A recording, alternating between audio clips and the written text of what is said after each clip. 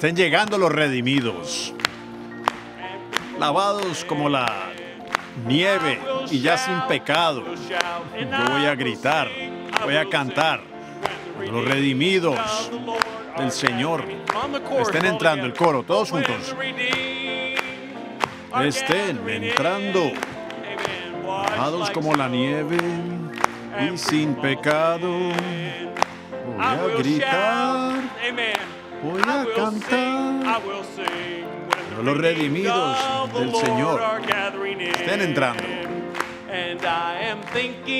Pienso en ese rapto allá en nuestro hogar en lo alto. Cuando estén llegando esos redimidos. Oh, esos himnos celestiales que vamos a cantar allá en el cielo. En esos cielos. Cuando vayan entrando los redimidos. Que vayan entrando los redimidos, lavados como la nieve y sin pecado. Yo voy a gritar, voy a cantar. Los redimidos del Señor vayan entrando. Habrá una gran procesión allá en esas calles de oro cuando los redimidos vayan entrando.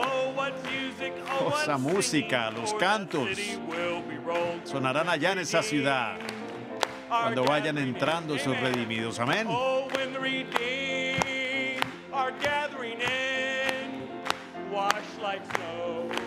Blancos como la nieve y sin pecado. Voy a gritar, amén. Voy a cantar. Los redimidos vayan entrando. Los santos cantarán ese himno de redención con sus, voces, con sus voces fuertes. Cuando vayan entrando esos redimidos, los ángeles todos van a escuchar, porque no pueden unirse a ese canto, porque nosotros lo vamos a cantar. Cuando vamos entrando, amén. Cuando los redimidos vayan entrando ya blancos como la nieve y sin ningún pecado, voy a gritar, voy a cantar. Los redimidos estén allí reuniéndose. El Salvador dará las órdenes para preparar el banquete. Amén. Gloria al Señor. Que vayan entrando. Vamos a oír su, invitación que dice, vengan benditos del Señor. Ustedes son benditos cuando ellos vayan entrando.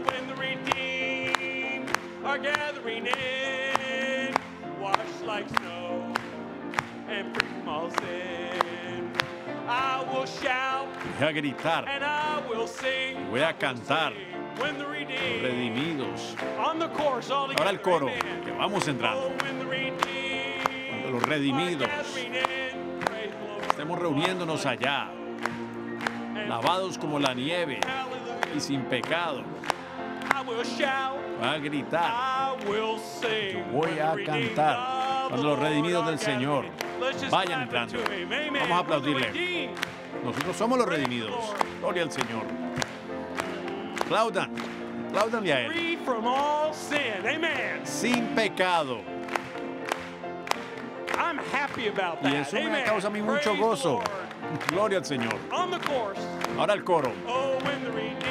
Cuando los redimidos vayan entrando, blancos como la nieve, ya sin ningún pecado. Voy a gritar. Oh, yo voy a cantar. Cuando los redimidos del Señor vamos entrando. Estoy pensando en ese rapto allá cuando vamos a nuestro hogar en lo alto. Estén entrando esos redimidos. Cantaremos esos himnos celestiales en esa ciudad en los cielos. Esa ciudad celestial, amén. Los redimidos. Vamos entrando. Lavados como la nieve y sin pecado. Voy a gritar. Voy a cantar. Los redimidos. Vayan entrando una vez más en el coro. Cuando vayan entrando los redimidos, blancos como la nieve y sin pecado, yo voy a gritar, voy a cantar. Cuando los redimidos estemos entrando, vamos a aplaudirle una vez más. Gloria al Señor. From all sin. Sin pecado ya. Ustedes son los redimidos, amén.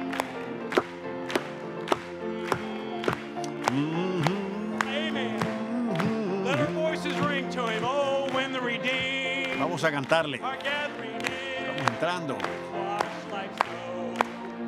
Y sin pecado voy a gritar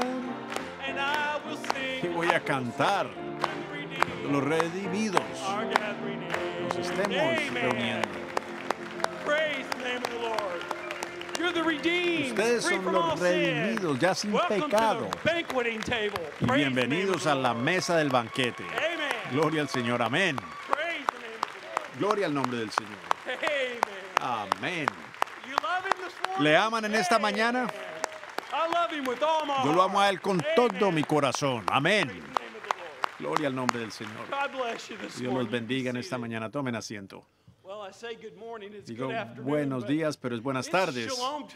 Pero para la novia de Jesucristo es shalom en todo momento. Amén. Así que lo amamos a Él en esta mañana y estamos muy contentos de. Que somos los redimidos. Que los redimidos lo digan. Amén. Me-. Y estoy tan contento de que soy uno de los de Él. Es un honor, un privilegio estar aquí con ustedes, porque ustedes son uno de los de Él. Amamos al. Señor de todo corazón. Amamos este mensaje.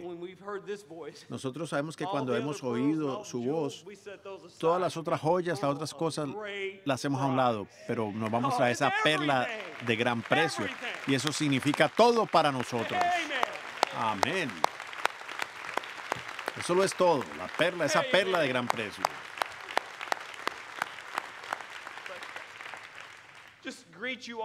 Quiero saludarlos a todos en el nombre del Señor Jesús, aquellos que están por la transmisión escuchando de alrededor del mundo.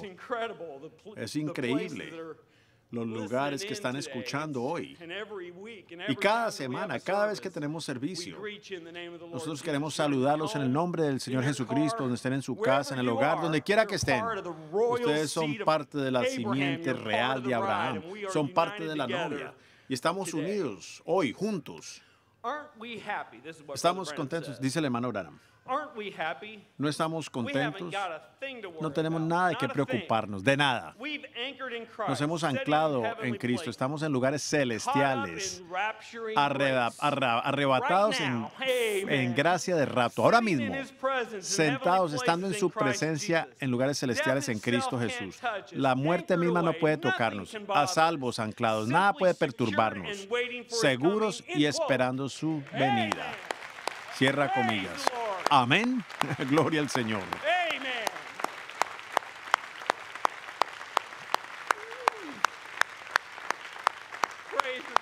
Gloria al nombre del Señor. Dios los bendiga. It even gets better. Y se pone mejor. I can tell you exactly what you are today. Puedo decirles exactamente lo que ustedes son. ¿Ustedes quieren saber? Yo quiero saber. You're a little spot Ustedes son una pequeñita luz, una pequeña, un puntico de luz que Dios ha escogido. Esos son ustedes. Y esto es lo que tiene este mensaje para ustedes. Y all the tinieblas en la things. osc- y toda esa oscuridad que... Pero hay una pequeña luz, unas pequeñas luces que hay allá abajo. Y esos son los escogidos de Dios. Esos son ustedes. Y se pone mejor. Dice el hermano Branham. "They've come too late to tell Ellos llegaron tarde para que nos digan a nosotros, a nos digan algo errado de la sanidad divina. Amén. Ya fuimos sanos. Ya fuimos llenos del Espíritu Santo. Ya tenemos gracia de rapto. Amén. Es those demasiado tarde para as esas cosas. Más vale que se callen porque ya lo recibimos. "Sit down, I know what I'm talking about. End quote. Y si yo- Amen. ellos se pueden sentar porque yo sé de lo que estoy hablando. Cierra comillas. Oh. Amén. Gloria al nombre del Señor.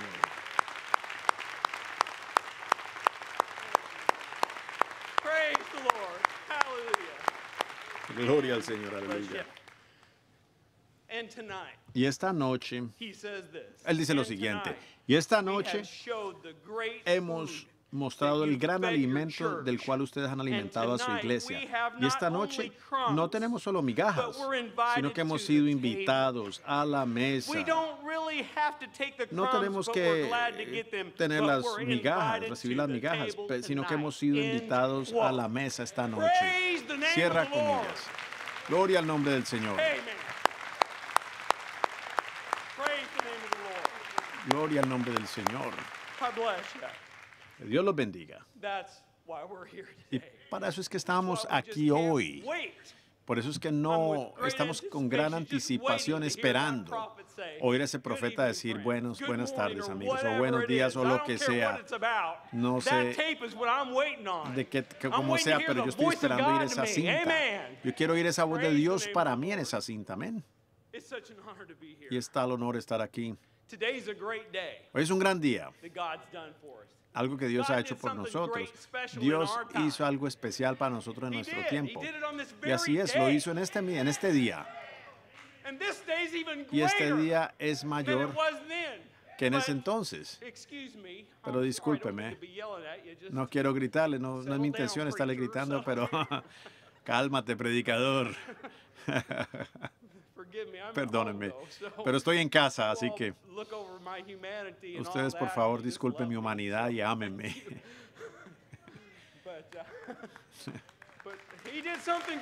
Pero él hizo algo en este día, algo grandioso en este día. Gracias, Señor.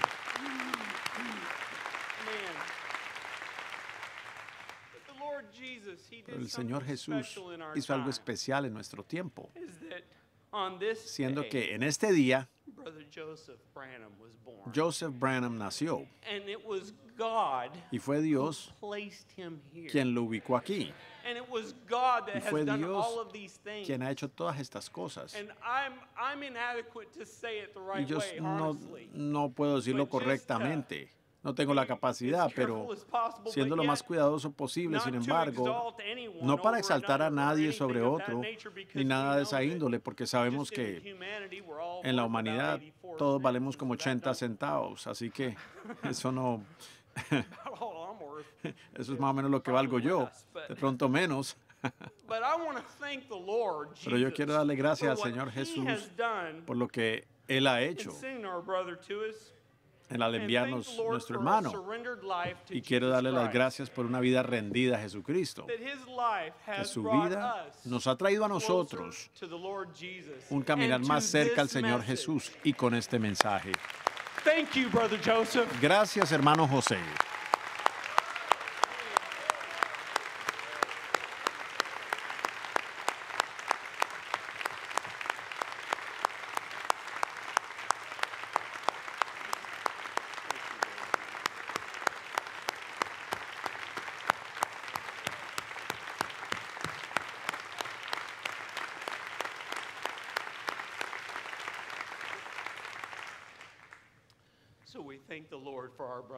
Así que le damos gracias al Señor por nuestro hermano y donde quiera que esté. Yo sé que el Señor está sonriendo sobre él. Yo sé que si el Señor está sonriendo sobre el hermano José, Él también está sonriendo sobre la hermana Valerie. Pero ella es parte de él. Así que, amén.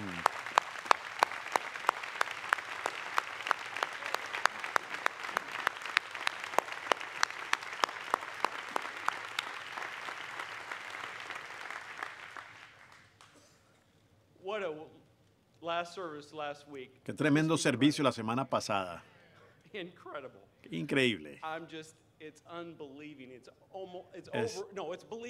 Es para creer, es abundante, abrumador. Los siete sellos, el tercer jalón, los siete truenos, fe de rapto. Nunca lo oímos así, nunca antes, de esta manera. Es increíble. Le damos gracias al Señor. Aquí dice el hermano, esto dijo el hermano Abraham, quiero compartírselos, entre comillas. ¿Cómo viene la fe? Por oír la, oír la palabra. Ella había oído de él. Y saben, de pronto había mucho impedimento para ella, ella siendo griega. La fe viene por el oír, y sabemos eso. Y ella tenía muchas cosas que le, como impedimento, pero su fe encuentra la fuente de la que ningún otro conoce o sabe.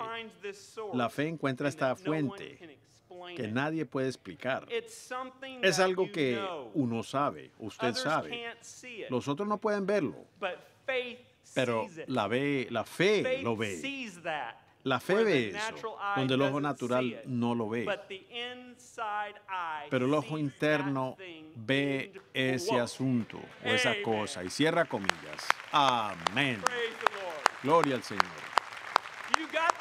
Y ustedes tienen esa fe. La tienen ahora mismo, ya la tienen. Gedeón. La historia de Gedeón para mí es tan sobresaliente, tan especial como lo es para ustedes. Pero fue tan importante que Dios ah, eh, mermó los ejércitos porque no iba a ser el hombre, sino que iba a ser era Dios. Y él escogió a tres hombres de allí, los llevó allá antes de la batalla y dijo, hay, hay dos hombres. Y Gedeón estaba allá y esos dos hombres estaban muertos del miedo. Lean la Biblia y dice, no, está, no hay nadie sino Gedeón y su ejército. Dice que temieron, que ellos estaban muertos del susto. Y Gedeón les dijo, es muy importante, tenemos que hacer lo que los profetas de Dios nos han dicho. No podemos titubear o pensar nuestras ideas en lo que pensemos que quiera decir. Simplemente lo que el profeta dijo, eso es. Tal como lo dijo. Entonces dice, o sea, coge una lámpara con una vela y una trompeta. A los 300 les dio eso. Cuando suene la trompeta, todos vamos a sonar a la vez. Y cuando suene la trompeta y ustedes quiten esa, lámpara, ese, ese cántaro, dice, griten. Dice, la espada del Señor y Gedeón. Amén. Hagan lo que él dijo, la espada del Señor y Gedeón. ¿Y qué es tan importante de Gedeón? simplemente se trata de obedecer órdenes. Dios ha puesto un líder para hacerlo. Y ustedes sigan lo que el líder hace, lo que él dice que se haga. Y eso me encanta. En este mensaje el hermano Branham dice, con pero esta espada de la palabra va a liberar toda promesa que Dios ha hecho allí. Si ellos tienen un buen, brazo de la, de la fe, que, los tiene que lo tenga allí empuñado. Y nosotros tenemos la espada. Y eso el hermano levanta la, Biblia, mensajes. Va a cortar todo lo que... cada, va a liberar cada promesa para nosotros. No hay impedimentos. Miles de hombres. Solo tenemos 300. Bueno, ¿a quién le importa? Fue el Dios que lo prometió y dice, ya no lo dio. Ve y toma la, posee la tierra. Y así sucedió. Amén. ¿Han oído el Lifeline? Oh, oh qué bendición.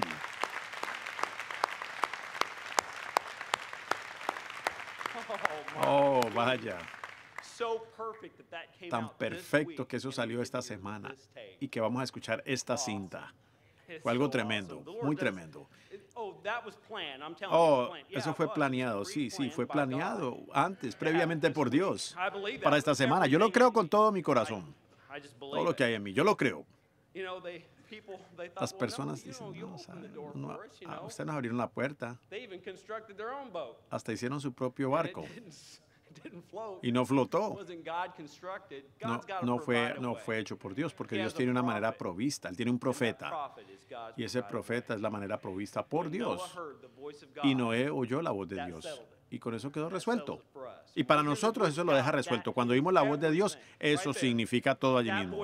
Esa voz significa todo. El hermano Branham dice, la fe genuina va a admitir que la palabra es correcta. Y cuando algo dice que los días de los milagros han pasado, algo en contra de la Biblia, eso no es fe genuina. La fe siempre va a admitir a la verdad. Ustedes deben quedarse con la palabra, no importa lo que otra cosa diga o lo que cualquiera diga. La palabra siempre tiene la razón. Amén, cierra comillas. Y la palabra vino al profeta, y el profeta es el único que tiene la autoridad divina para poner, ubicar esta palabra en su lugar, divinamente. Amén. Nosotros le creemos a nuestros profetas. Nosotros le creemos a todos los profetas de Dios. Y en esta mañana Extiéndete y toca al Señor. Yo creo que estamos haciendo exactamente lo que el profeta nos dijo que hiciéramos. Yo creo que estamos haciendo lo que Moisés dijo que hiciéramos. Moisés dijo en Deuteronomio 6:7 y les enseñarás diligentemente a tus hijos. y hablarás de ellas cuando estés sentado en tu casa. Y cuando pases por el camino o cuando te acuestes o te levantes. Yo creo que estamos haciendo lo que dijo Pablo. En Colosenses 4, 15 y 16. Este era el mensajero. Él dijo, saluda a los hermanos que están en la Odisea. and Nymphus, and the church was Y y la iglesia estaban en su casa. And when this epistle is read among you, Y cuando esta epístola o esta carta sea leída entre ustedes, que también sea leída en la iglesia de, la Odisea- de los de la Odisea.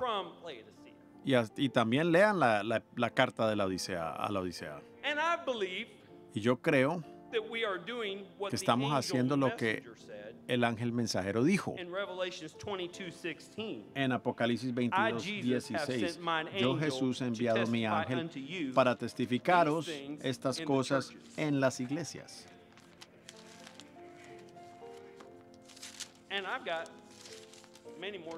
Tengo muchas escritas más, pero no tenemos tiempo. Pero nosotros lo creemos y lo, lo vemos y lo estamos haciendo. What a consolation to Qué us. consuelo es para nosotros. prophets don't tell us Los profetas de Dios no nos dicen nada errado. No estamos edificando tres tabernáculos. Estamos aquí para hacer una sola cosa. Yo no tengo mensaje. Ya nos fue enviado el mensaje. No estamos aquí para hacer tres tabernáculos. Estamos aquí para oírlo a Él. Vosotros oírlo a Él. Y esa palabra no necesita interpretación. Lo único que nosotros tenemos que hacer es oírla, creerla y obedecerla. Y ustedes son esa novia. Así de sencillo.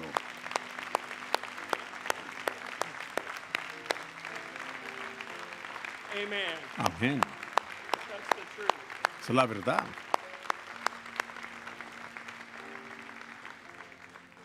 You say, brother, Dice, hermano, but I have need this, I had need of that. pero es que yo necesito that." esto, necesito lo otro, necesito, necesito lo otro. Yo le tengo la respuesta.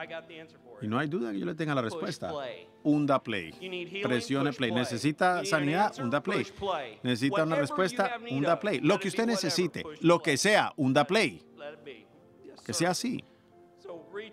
Así que vamos a extendernos y a tocar al Señor para lo que usted necesite hoy. Lo que usted necesite hoy, Él se lo va a dar. Lo recibimos. Nosotros recibimos todo lo que Dios tiene para nosotros. Pero Él lo ha invitado a usted y a mí a la mesa. Nos ha invitado a la mesa. Gracias, Señor Jesús. ¿No lo aman a Él en esta mañana? Ustedes son parte de la novia, son los redimidos. Eso es para ustedes. Toca al Señor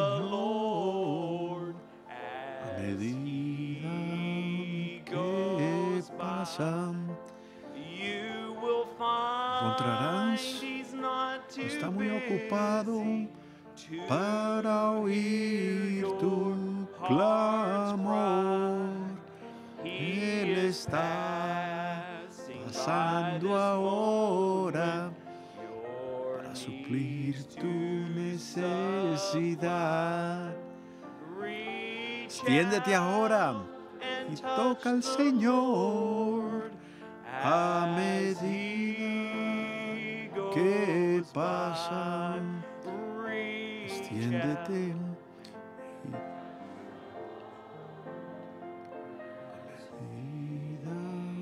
Que encontrarás para oír tu. Está pasando ahora para suplir tu necesidad. Extiéndete y toca al Señor a medida que Father. Bondadoso Padre Celestial, qué privilegio y honor es postrar nuestros rostros ante ti, de poder siquiera llamarte Padre. Cuánto te amamos, Señor. Te damos las gracias por este momento en que podemos estar unidos, Gracias por tu palabra, por la voz, esa voz que nos ha traído aquí. Gracias. Qué privilegio es. gathered together, Lord. Qué tiempo para estar reunidos, pensando en todas esas lengüetas de fuego alrededor del mundo. Estamos congregados, reunidos en lugares celestiales. Señor, qué honor. Qué honor es poder estar asociados con esta parte de la novia y con los que están escuchando alrededor del mundo. Padre, Te invitamos a que vengas. Acompáñanos hoy. Ayúdanos, Padre, a poder recibir todo lo que tienes para nosotros. Quieres, lo que quieras que oigamos, que se ancle y profundice en nuestro corazón como nunca antes. Estamos agradecidos por lo que has hecho- en nuestro día. Gracias por los sellos, abrirlos para nosotros. Señor, todo lo que nos has mostrado en estas últimas semanas. Avivamiento en tu novia. Todo lo que has hecho por nosotros. Nuestras lenguas no lo pueden pronunciar adecuadamente, pero nosotros lo creemos de todo corazón. Qué día especial, como dijo, decía el hermano Samuel. Es un día especial para la novia de Cristo. Padre, nosotros le creemos a ese séptimo ángel mensajero. Sabemos lo que él dijo, todo lo que él dijo fue así, dice el Señor. Y en eso estamos And descansando, O en eso estamos confiando y no there. evitar ver este mensaje sin ver al hermano José y lo que él está haciendo y para lo que tú lo levantaste. Tal vez no lo entendamos todo a nuestra a plena capacidad, lo que está haciendo por medio de él. Pero qué obra, qué privilegio es poder estar asociado con el Señor, de pararnos hombro a hombro con Él y decir que creemos, Padre, nosotros le creemos a tu mensajero, creemos lo que Él dijo. Padre, Te damos gracias por tu siervo y profeta, el hermano José. Gracias, te damos gracias por su vida. ¿A dónde estaríamos, Padre, sin tú haber levantado a Él, que está distribuyendo este alimento al darnos acceso en, toda, en todo formato? Qué pueblo más bendecido somos. Padre, donde quiera que Él esté, que bajes en una manera especial y le des reposo a su cuerpo. Tú ves la- el camino por delante y la, la carga sobre sus hombros. Tantas cosas, Señor. Que tú seas esa roca. Que tú seas el ángel con las manos más suaves que lo abrace y, y lo bendiga. Muéstrale cuánto lo amas hoy. Te damos gracias por enviar tal don a nosotros. Gracias por eso, Señor. Gracias por tu palabra. Gracias por nuestro hermano Samuel aquí, la columna que es. Oramos que también para él haya una bendición. Y todos aquellos que son parte de este servicio. Padre, todos nosotros que estamos aquí congregados, que tú nos unjas como nunca antes, ahora que oímos tu palabra. Nos emociona tanto entrar en ella. Y nos emociona porque sabemos que este es el, el mensaje exacto para tu novia, el, el mensaje preciso. Y aquí hay algo que tú quieres que nosotros captemos, que oigamos. Padre, moldéame, remoldéame hoy. Yo quiero todo lo que haya disponible para mí, Señor. Te amamos. Y Padre, estas peticiones, Señor, ya todo está concluido. Ya tú sabes todo, Señor. Estamos combinando nuestra fe, todas las peticiones. Pedimos que tú inter- intercedas por cada uno, grande o pequeño. El que pueda hacer, te los encomendamos. Te damos gracias por ello, Padre, porque todo es una obra con- con- consumada. Te amamos, encomendamos el resto del servicio en tus manos en el nombre de Jesucristo. Amén. Toca al Señor a medida que pasa. Encontrarás que no está ocupado para oír tu clamor. Él está pasando ahora para suplir tu necesidad. Extiéndete ahora y toca al Señor. A medida que pasa. Una vez más. Extiéndete. Toca al Señor a medida que pasa. Encontrarás que Él no está muy ocupado para oír tu clamor. Gracias, Señor.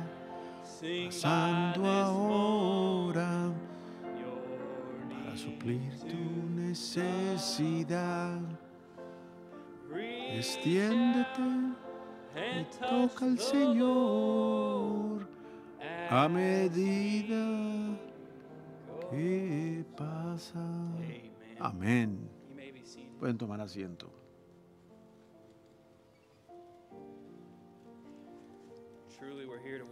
Estamos aquí para adorarlo a Él, para oír esa palabra.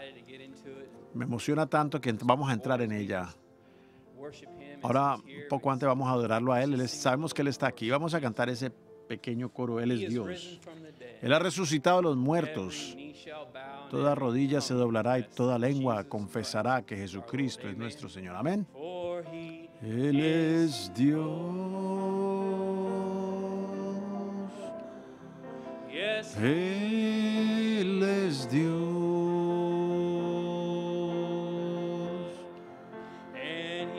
Los muertos ha resucitado.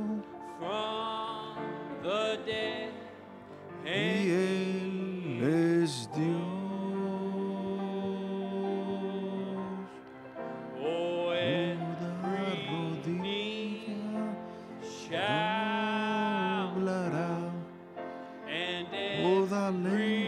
Cristo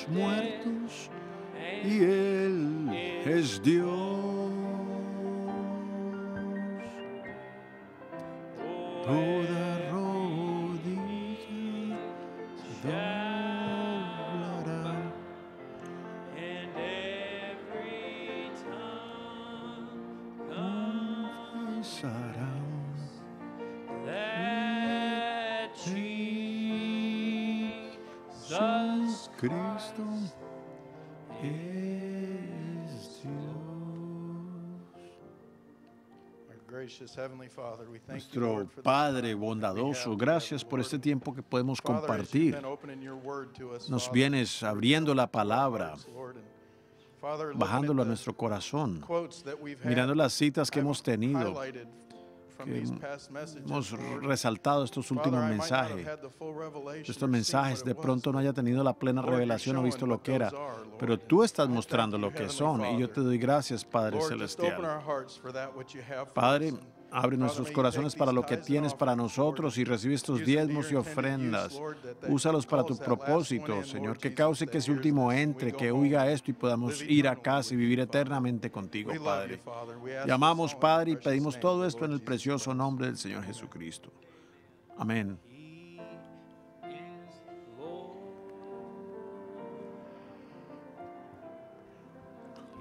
Él es Dios.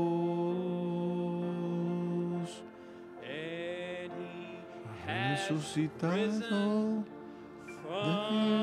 de los muertos. Él es Dios.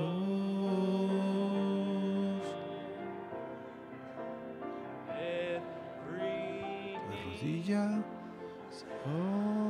hablará toda lengua confesará que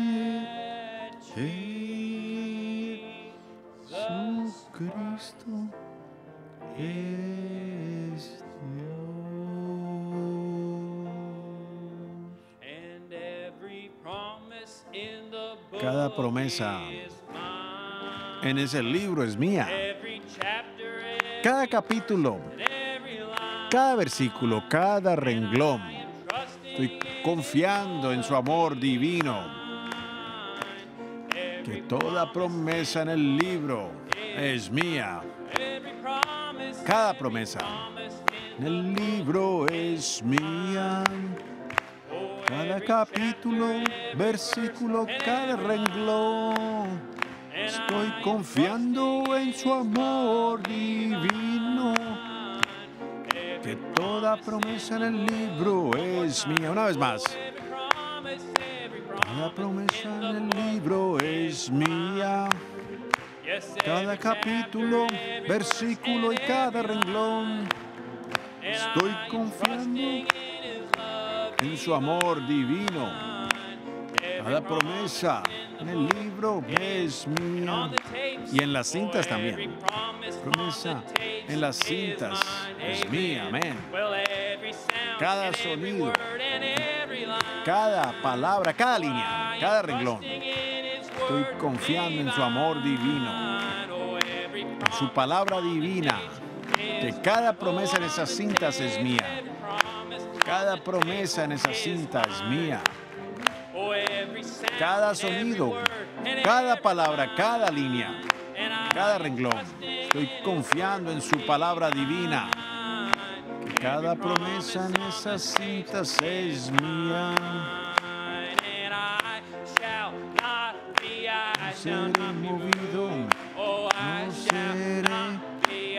No seré movido como un árbol plantado junto a las aguas. No seré movido. Primera estrofa. Jesús es mi Salvador, no seré movido. Amor y favor, no seré movido, es como un árbol plantado junto a las aguas. No seré movido. Seré, no seré movido.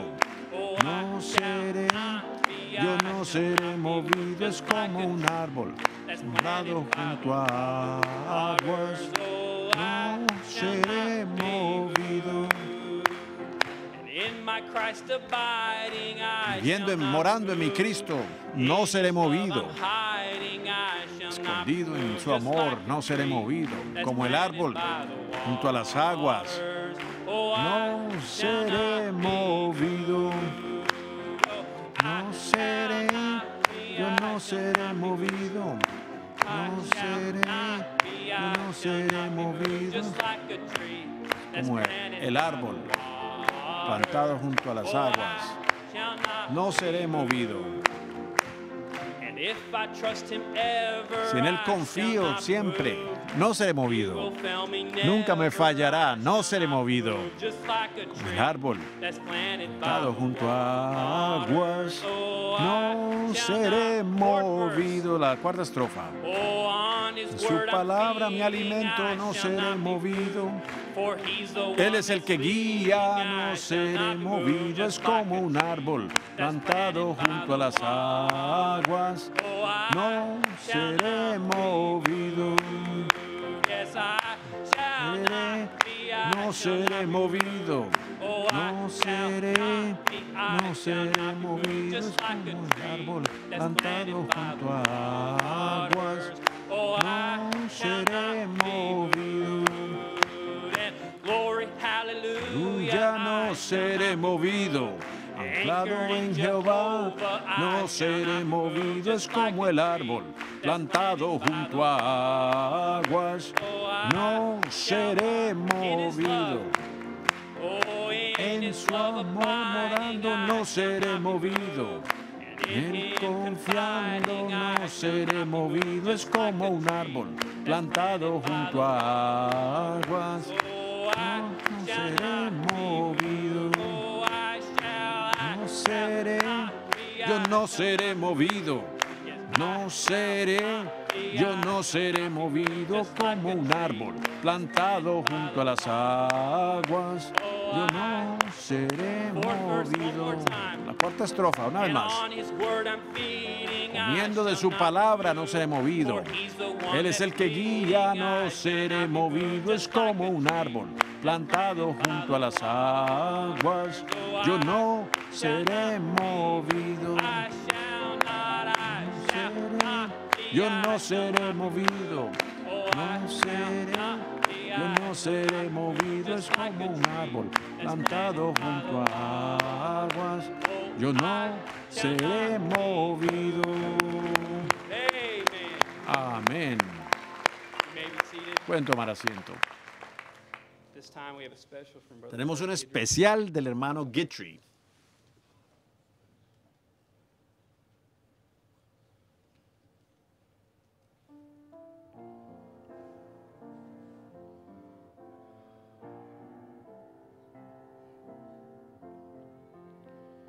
Some glorious morning, sorrows will cease. Some glorious morning, all will be peace. Una mañana gloriosa, todo será paz. Las tristezas acabarán. Los días de la escuela habrán terminado. El cielo se abrirá y Jesús vendrá. Some golden Algún Jesus. amanecer dorado vendrá Jesús. Some golden daybreak, En algún amanecer dorado, las batallas todas habrán sido ganadas. shout the victory, Él gritará la victoria. through the blue. Some golden y daybreak Romperá quebrando toda for tristeza. me, for you. Y lo hará por ti, por mí. Sad hearts will gladden. All Los corazones tristes se alegrarán. Goodbye forever Todo, todo será luz y una, una despedida para siempre de las noches oscuras de la tierra. En un momento cambiados. Oh, glorious daybreak. Glorioso amanecer cuando yo vea a Jesús. Oh, what a meeting Oh, qué there reunión in the skies. allí en los cielos. No tears, no crying. No habrá llantos. Loved ones united Seres queridos unidos eternally. eternamente. Oh, a daybreak. Oh, oh, that ese día y esa mañana la que será some golden daybreak. un amanecer glorioso. Jesus will come. Vendrá Jesús, Some golden daybreak. algún amanecer. Battles all won. He'll Todas las batallas habrán sido the ganadas. victory. Él gritará, gritos de victoria blue. irrumpirá por esos cielos azules. Una mañana dorada for me, lo hará por ti you. y por mí. Some golden daybreak Un amanecer dorado. vendrá por ti y por mí.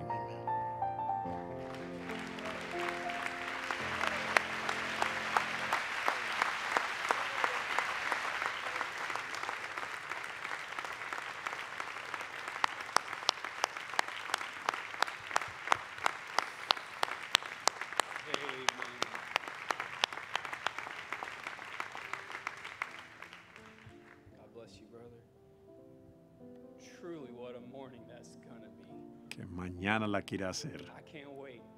Oh, ya quiero estar allí. ¿Cuántos están pendientes y vigilantes? Porque ya en cualquier día, qué realidad la que es para cada uno de nosotros. En cualquier momento, en un abrir y cerrar de ojo, seremos cambiados. Oh. Oh, yo quiero que esté aquí. Amén. Ya en cualquier día, nuestro Señor Señor viene, regresará.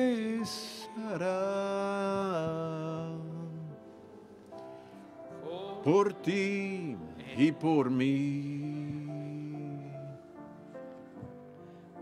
He estado esperando.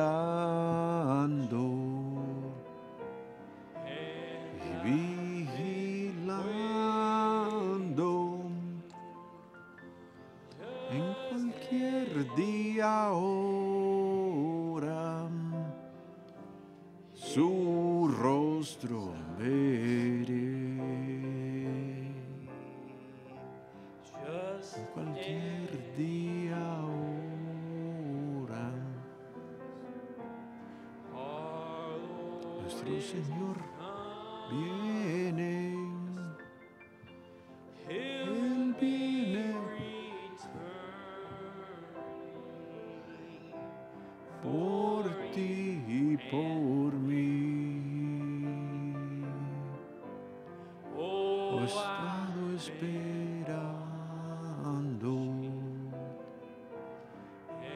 estado vigilando.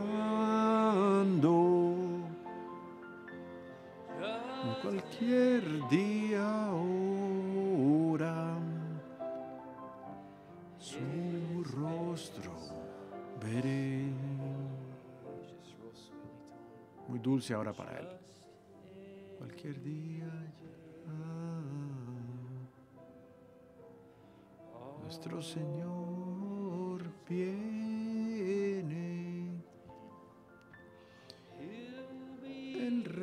deixará.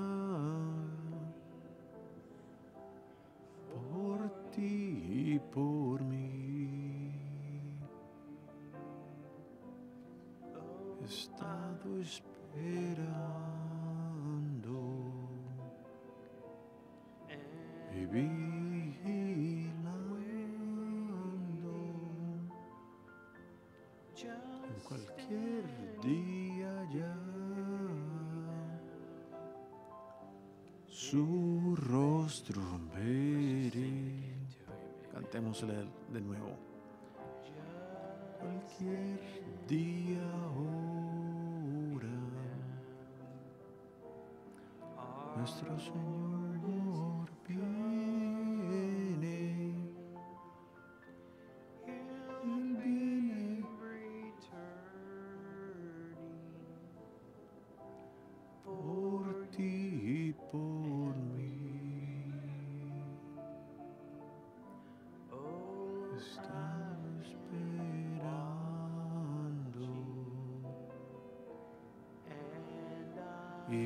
he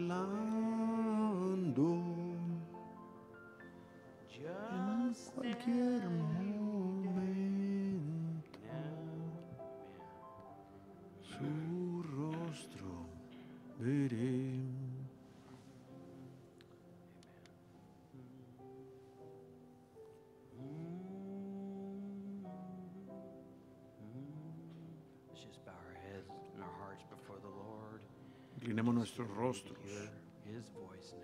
y nuestro corazón delante de, de Él. Preparémonos para oír su voz.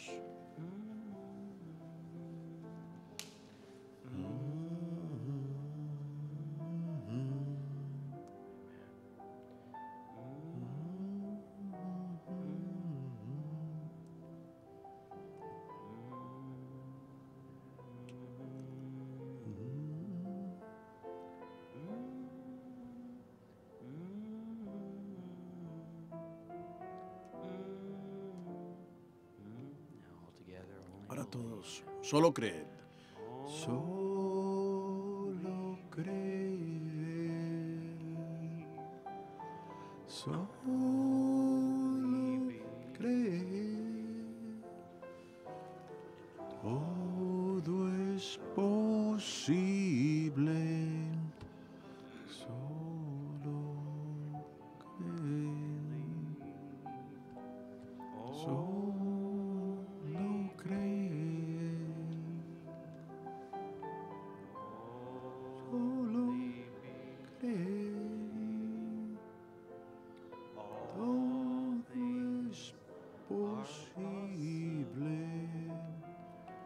solo creer.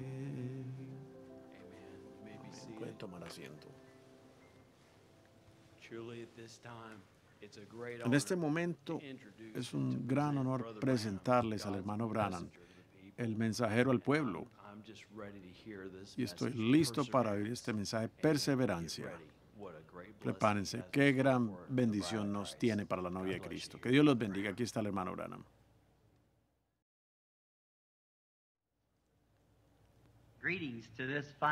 Saludos a esta buena congregación aquí esta noche, la hermana Webster, el hermano Green, y a toda la congregación, los miembros de esta asamblea. Siempre es un privilegio para mí venir a la casa del Señor.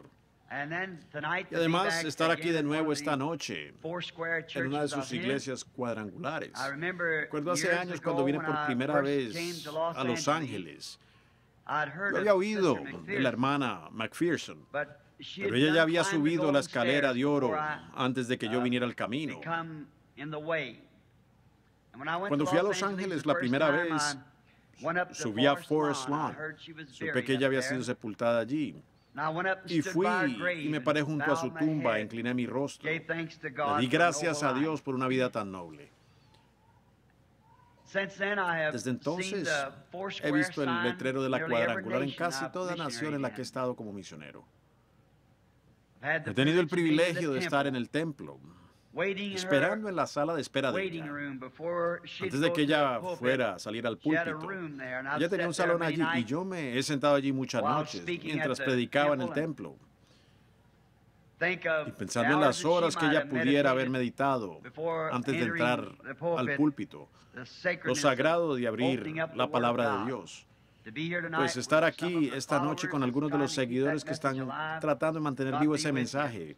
Dios los acompañe y les bendiga.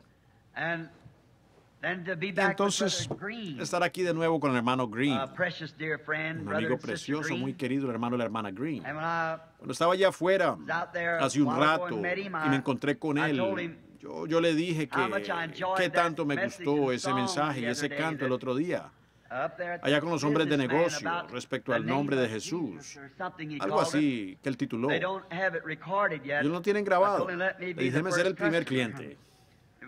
Fue tan, tan hermoso ese canto. Pensé que ellos pudieran cantar para mí esta noche cuando llegara. Mi esposa y los niños están ahí atrás para escucharlo y estoy seguro que también lo se gozaron. Su voz no es verdaderamente conocida en nuestro hogar. Yo tengo muchas de sus grabaciones. Cuando me siento mal, yo tengo uno de sus tocadiscos. Y me pongo a escuchar todo un montón de sus discos. Y allí los estoy escuchando. Quiero decirle a mi esposa allá atrás, tengo unos discos más he conseguido algunos más.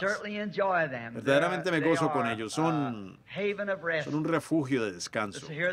Escuchar esos cantos del Evangelio. Saber que no son cantados por una voz mecánicamente entrenada, sino que vienen del corazón de un verdadero cristiano.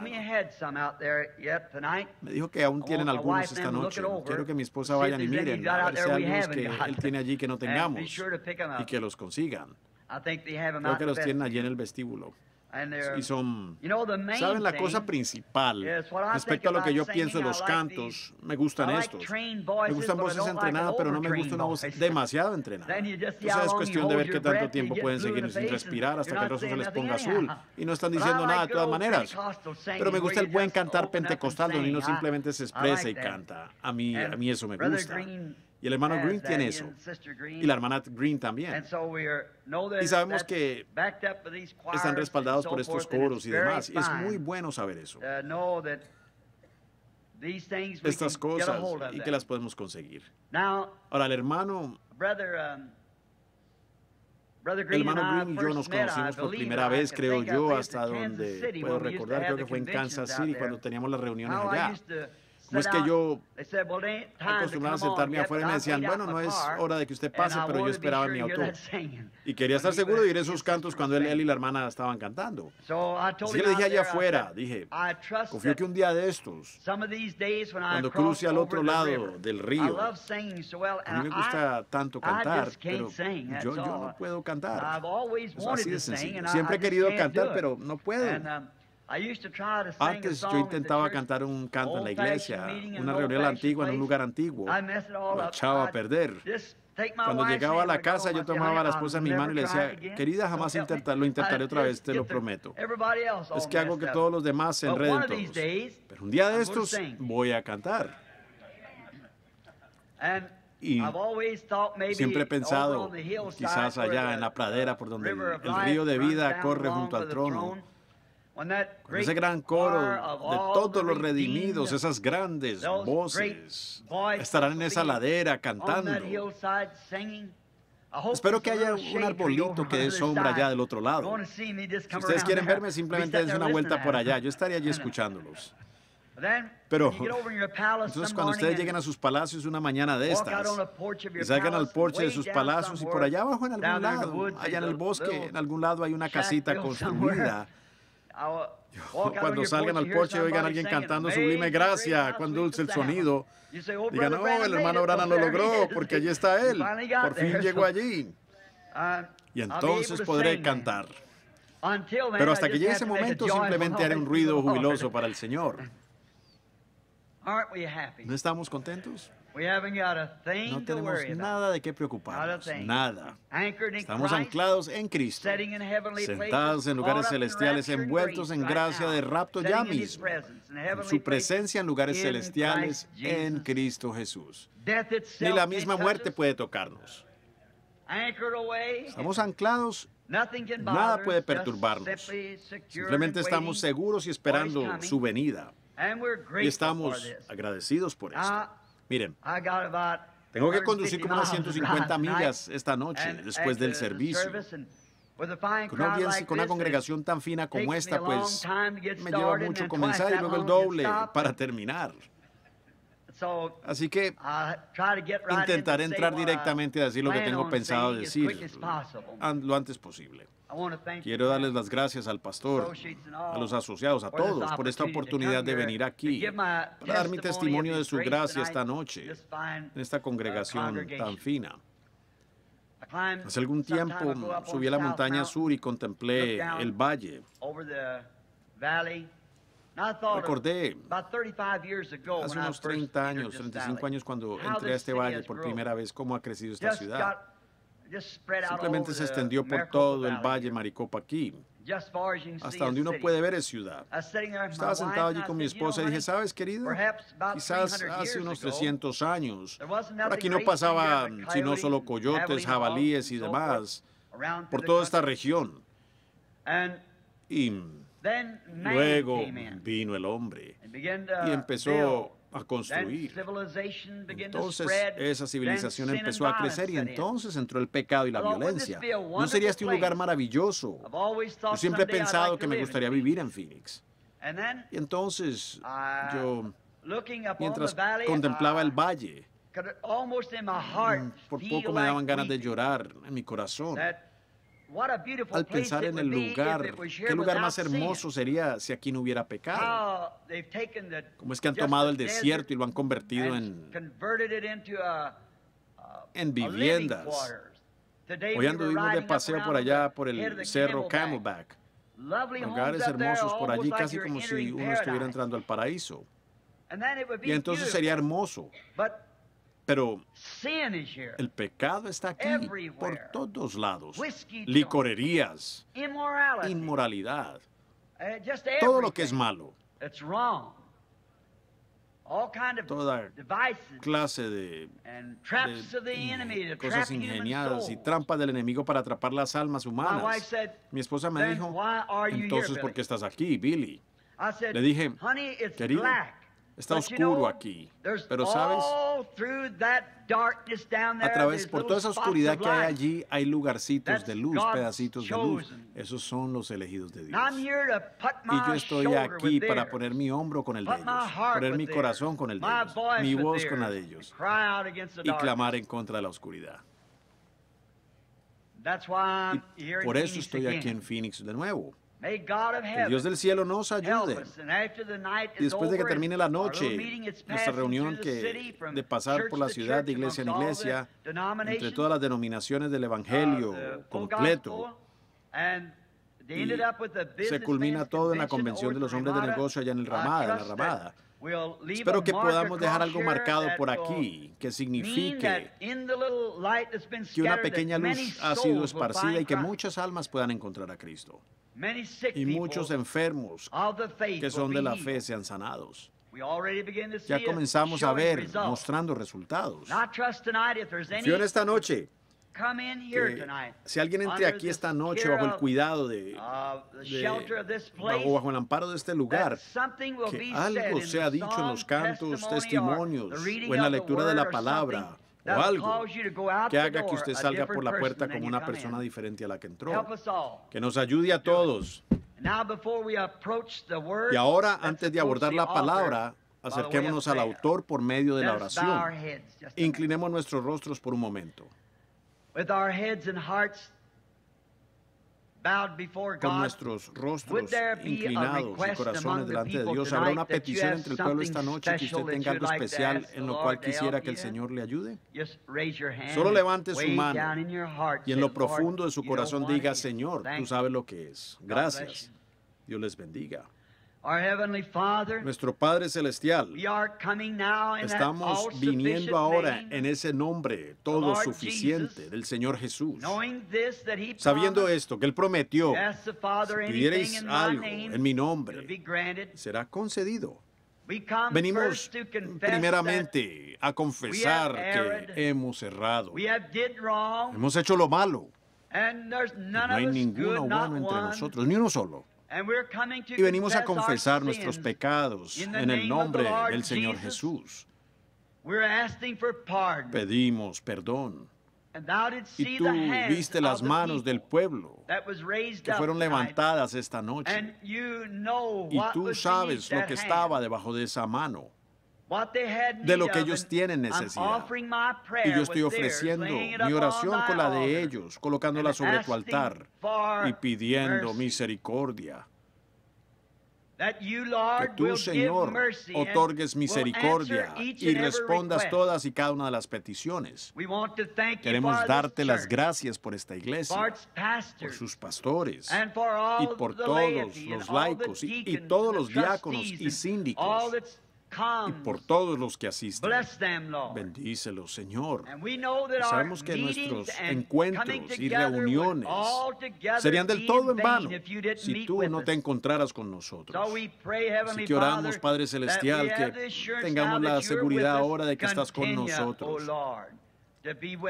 Oh. Señor, sigue con nosotros durante la noche. If Ayúdanos. there by chance would be Si por casualidad hay aquellos que Han from the venido de las calles o de los vallados y of the caminos world del mundo. that's been in their life que en sus vidas han sido indiferentes hacia ti, que esta sea la noche que ellos puedan decir ese sí pleno suficiente a Dios y se rindan, give themselves over to se Jesus entreguen a. Jesucristo.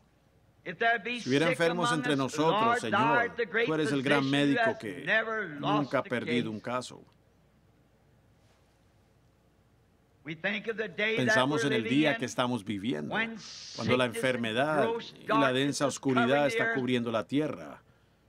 But we think again that when you Pero también pensamos que cuando tú estabas guiando a tu pueblo, Moisés los sacó de, Egipto y los llevaba a la tierra prometida.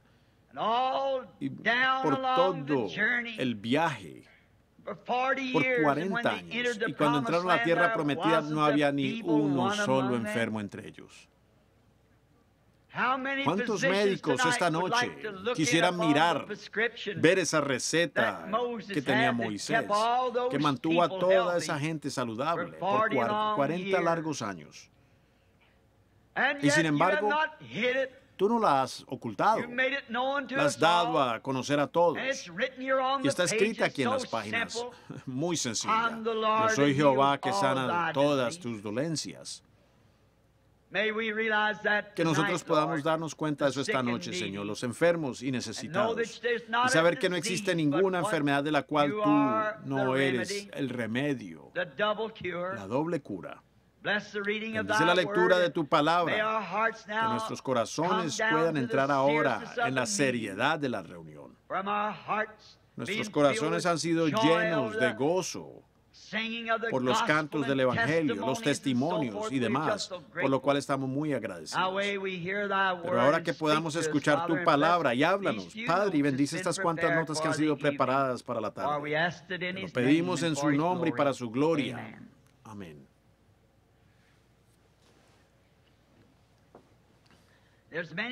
Muchas personas al venir al servicio siempre les gusta anotar lo que dice el ministro o leer de la escritura.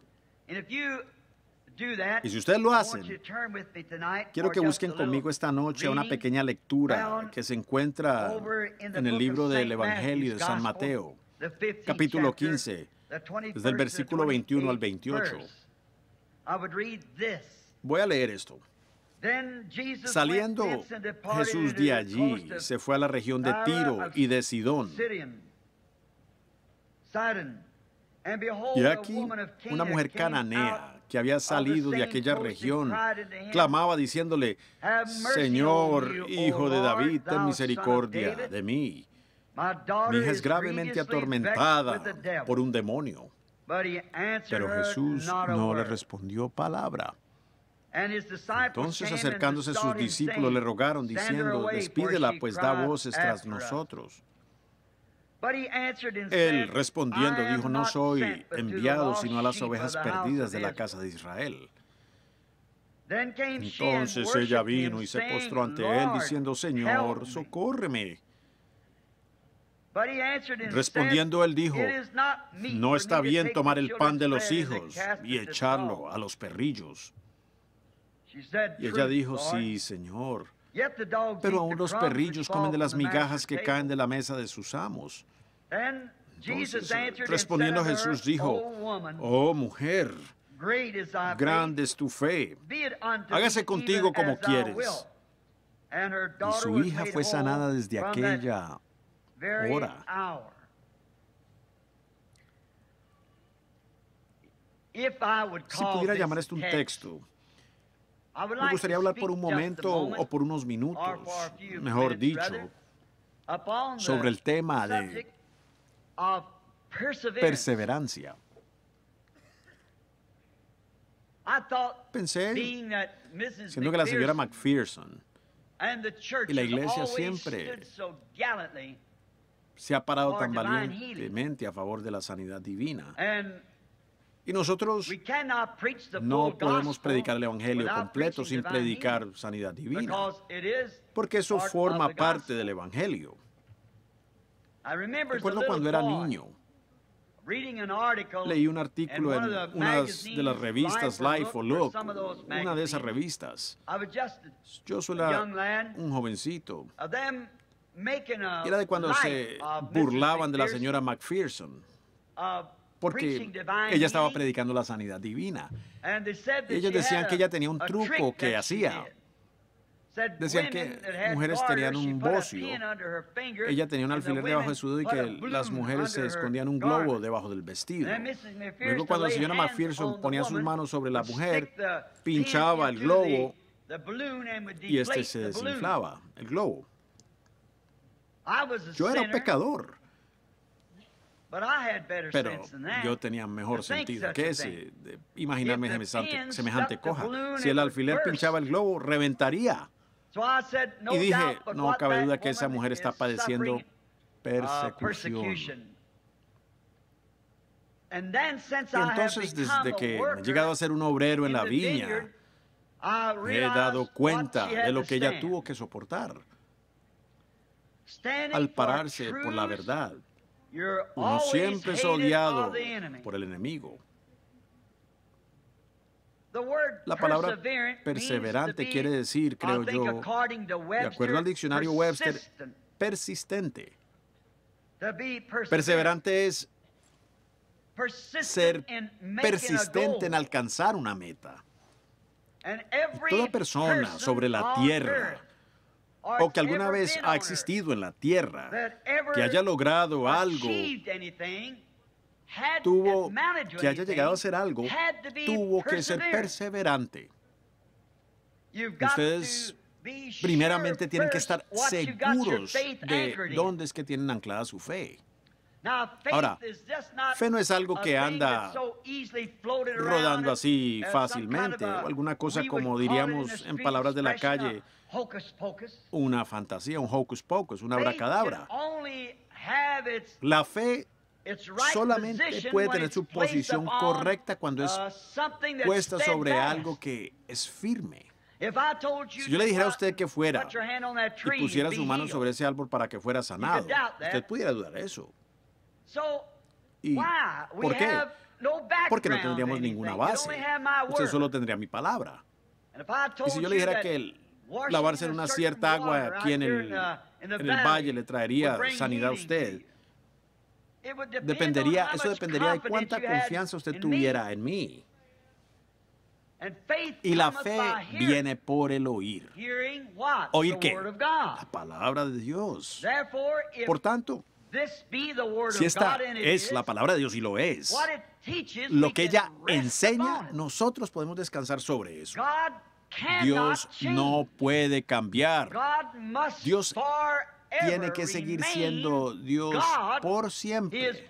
Su palabra debe ser tan verdadera en esta edad como lo fue en cualquier edad. Ahora, nosotros somos finitos. Nosotros podemos decir algo este año y quizás mañana incluso tener que cambiarlo porque no estamos muy seguros por cuanto somos finitos. Simplemente estamos presumiendo. Presumir quiere decir avanzar sin autoridad. Pero cuando Dios dice alguna cosa, es perfecto. Él no tiene que cambiarlo. Abraham no dudó de la promesa de Dios por incredulidad, sino que se fortaleció dando alabanzas a Dios, por cuanto sabía que Él era poderoso para llevar a cabo o para cumplir o para hacer aquello que le había prometido. Entonces, si Dios alguna vez es llamado a la escena para tomar una decisión, la primera decisión que Él toma tiene que seguir siempre siendo la misma. Jamás puede cambiar. No puede ser alterada por cuanto Él es infinito. Y todo lo que es infinito jamás tuvo un principio o un fin. Así que Él no puede retirarlo el año siguiente y decir yo estaba errado. Entonces, si esa fue su decisión, entonces cada hombre que hace esa misma, llega a esa misma decisión que Dios tomó por un hombre en base a su fe para creerlo, él tiene que encontrarse con esa misma cosa cada vez que un hombre lo cree. Dios tiene que actuar cada vez de la manera que actuó la primera vez o él actuó mal la primera vez. ¿Y quién puede acusar a Dios de actuar mal? Dios siempre tiene que cumplir o permanecer con su decisión. Si podéis creer. Ahora, para lograr algo, usted tiene que fijarse una meta y decir, yo creo esto y amarrarse a eso y seguir jalando, acercándose más a eso, sabiendo que usted que está allí y sabiendo que hay algo allí a lo que usted va a llegar. Como se dijo del muchachito que tenía la, cometa, estaba, que tenía la cuerda en la mano. El hombre dijo, ¿qué está sosteniendo? Él dijo, mi cometa. Yo no veo ni una, sino una cuerda. Él dijo, pero hay una cometa en el extremo. El hombre miró hacia arriba y dijo, yo no veo la cometa. El muchachito dijo, yo tampoco. Dijo, bueno, ¿cómo sabes que tienes una cometa? Él dijo, puedo sentirla jalando en el extremo. Bueno, así es la fe. Es la certeza de lo que se espera, la convicción de lo que no se ve. Mientras que usted fije su fe en eso y luego se ancle en ello, usted llegará a eso. No importa si puede haberlo o no, usted sabe que está allí de todos modos. Usted lo siente jalando y eso está jalando de usted. todo hombre que alguna vez hizo algo que haya valido la pena, fijó una meta y luego fue persistente, perseverante para lograr eso. Grandes hombres. George Washington, a quien llaman el padre de nuestra nación. Cuando él llegó al Valley Forge, al Valle de Forge, después de pasar toda la noche en oración, a tal grado que estaba mojado, con nieve, más arriba de la cintura, arrodillado en la nieve, al día siguiente cruzó el río Delaware, lleno de hielo. ¿Por qué? Porque él fue perseverante tenía la respuesta. Nada iba a interponerse en su camino. Aunque tres o cuatro fusiles, balas de fusil atravesaron su abrigo, pero no le hicieron daño. Él trató, quería lograr algo. Había orado fervientemente al respecto y fue perseverante. Nada le estorbó. ¿Pudieran ustedes imaginarse a Noé en sus días? Lo perseverante que fue Noé. Miren, él era un simple agricultor. Y quizás ellos vivieron un día de mayor investigación científica que la que tenemos nosotros hoy. Porque en aquellos días ellos construyeron pirámides. Y algunos de ustedes, si alguno de ustedes ha tenido el privilegio de, de ir a la pirámide egipcia y ver la esfinge y demás, es asombroso verlo. ¿Cómo pudieron alzar esas piedras tan enormes en el aire, casi a la altura de una cuadra, pesando ellas miles de toneladas? Nosotros hoy no podríamos reproducir eso. No entendemos. Ellos tenían algo. Ellos tenían un colorante, tenían algo con lo cual podrían embalsamar un cuerpo, que podía hacerlo verse bastante natural por miles de años. Nosotros no tenemos ese arte, colorantes y todo eso que tenían ellos. Fue una gran edad científica. Pero un día, mientras Noé estaba en el, en el campo, quizás arreglando su cosecha, Dios se le apareció y le dijo, prepárate para la salvación de tu casa y construye un arca y va a llover. Ahora, nosotros sabemos que en el mundo antidiluviano no había llovido. Y pues eso no cuadraba con los pensadores científicos de aquel día. Su mensaje era contrario. No cabe duda que los científicos inteligentes fueron a él y le dijeron, fíjese en esto, señor Noé. Mire, tenemos instrumentos que podemos disparar hasta la luna y podemos hacer todos estos estudios científicos. Y no hay agua allá arriba. ¿Cómo es que va a caer agua de allá cuando no hay agua allá arriba que pueda caer? Usted es un tonto. Usted está haciendo algo absurdo. Allá arriba no hay agua. Pero no podía decir, Dios dijo que llovería y eso lo concluye. Dios lo dijo. Él fue persistente por, persistente por 120 años, encarando el mundo científico de su día, reclamando aunque su mensaje era correcto, por cuanto había venido de parte de Dios. Tenía una meta que alcanzar, tenía un mensaje que llevar, y, fue, y él fue persistente en hacerlo. No importaba lo que dijera el resto del mundo, Noé había oído de parte de Dios. Eso era todo lo que a él importaba. Él había escuchado la voz, él estaba seguro que era Dios. Y estaba preparando algo que para el mundo parecía una locura. Pero sin embargo, Noé sabía que Dios cumpliría su palabra. ¿No debería eso ser una lección para nosotros en esta noche? Como dijo Jesús, y como fue en los días de Noé, así será en la venida del Hijo del Hombre. Un mensaje que para el mundo es una locura. Ellos no lo entienden. Pero sin embargo, aquellos que han hecho contacto con el Espíritu Santo saben que Él sí regresará otra vez. Puedo ver a la gente a medida que ellos sentían lástima por el pobre Noé acerca de cuánta diversión se estaba perdiendo y de las cosas que estaban sucediendo en el mundo. Pero Noé, aún persistente, se mantuvo firme. Ya Dios le dijo a Noé, muy bien, ya hiciste tu parte. Entra ahora en el arca tú y tu familia. Se fijaron que los, los, pájaros empezaron a volar adentro y los animales empezaron a entrar de dos en dos. Noé y su familia entraron. Y siempre hay los creyentes fronterizos, como yo los llamo. Gente que viene a la iglesia. Y ellos se gozan con un mensaje, quizás el coro, del coro o de los cantantes, del ministro o con algún testimonio. Ellos se gozan. Pero entrar y formar parte de ello, sencillamente no lo harán. Les gusta escuchar, pero, solo no, pero no formarán parte de eso, no quieren identificarse con eso. Ellos quieren quedarse a un lado. Y eso siempre ha sucedido, y sin duda que sucedió en aquel día.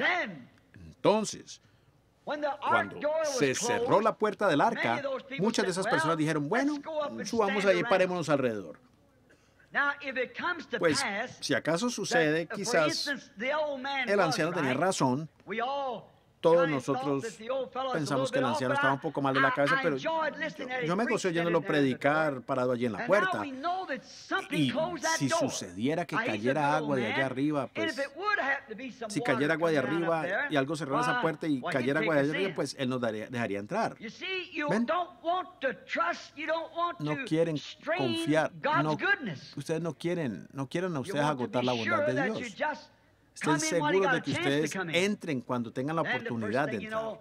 De repente, miren, el primer día, miren cómo Dios algunas veces pone presión sobre su pueblo. Me imagino que el primer día Noé le dijo a su familia, muy bien, ahora vamos a subir al piso de arriba. Ahora, en la mañana los cielos se van a poner oscuros. Nunca antes se habían puesto oscuros, no los habíamos visto antes, pero va a caer lluvia. Los relámpagos alumbrarán a través de los cielos. y a la mañana siguiente sale el sol. No, no, había, no hubo señal alguna todo el día. No y su familia estuvieron mirando. Las cosas siguieron igual que siempre. Me imagino que los creyentes fronterizos dijeron, ah, el anciano estaba equivocado. Volvieron al centro de la ciudad a comer, beber y hacer fiesta. Me imagino a su familia.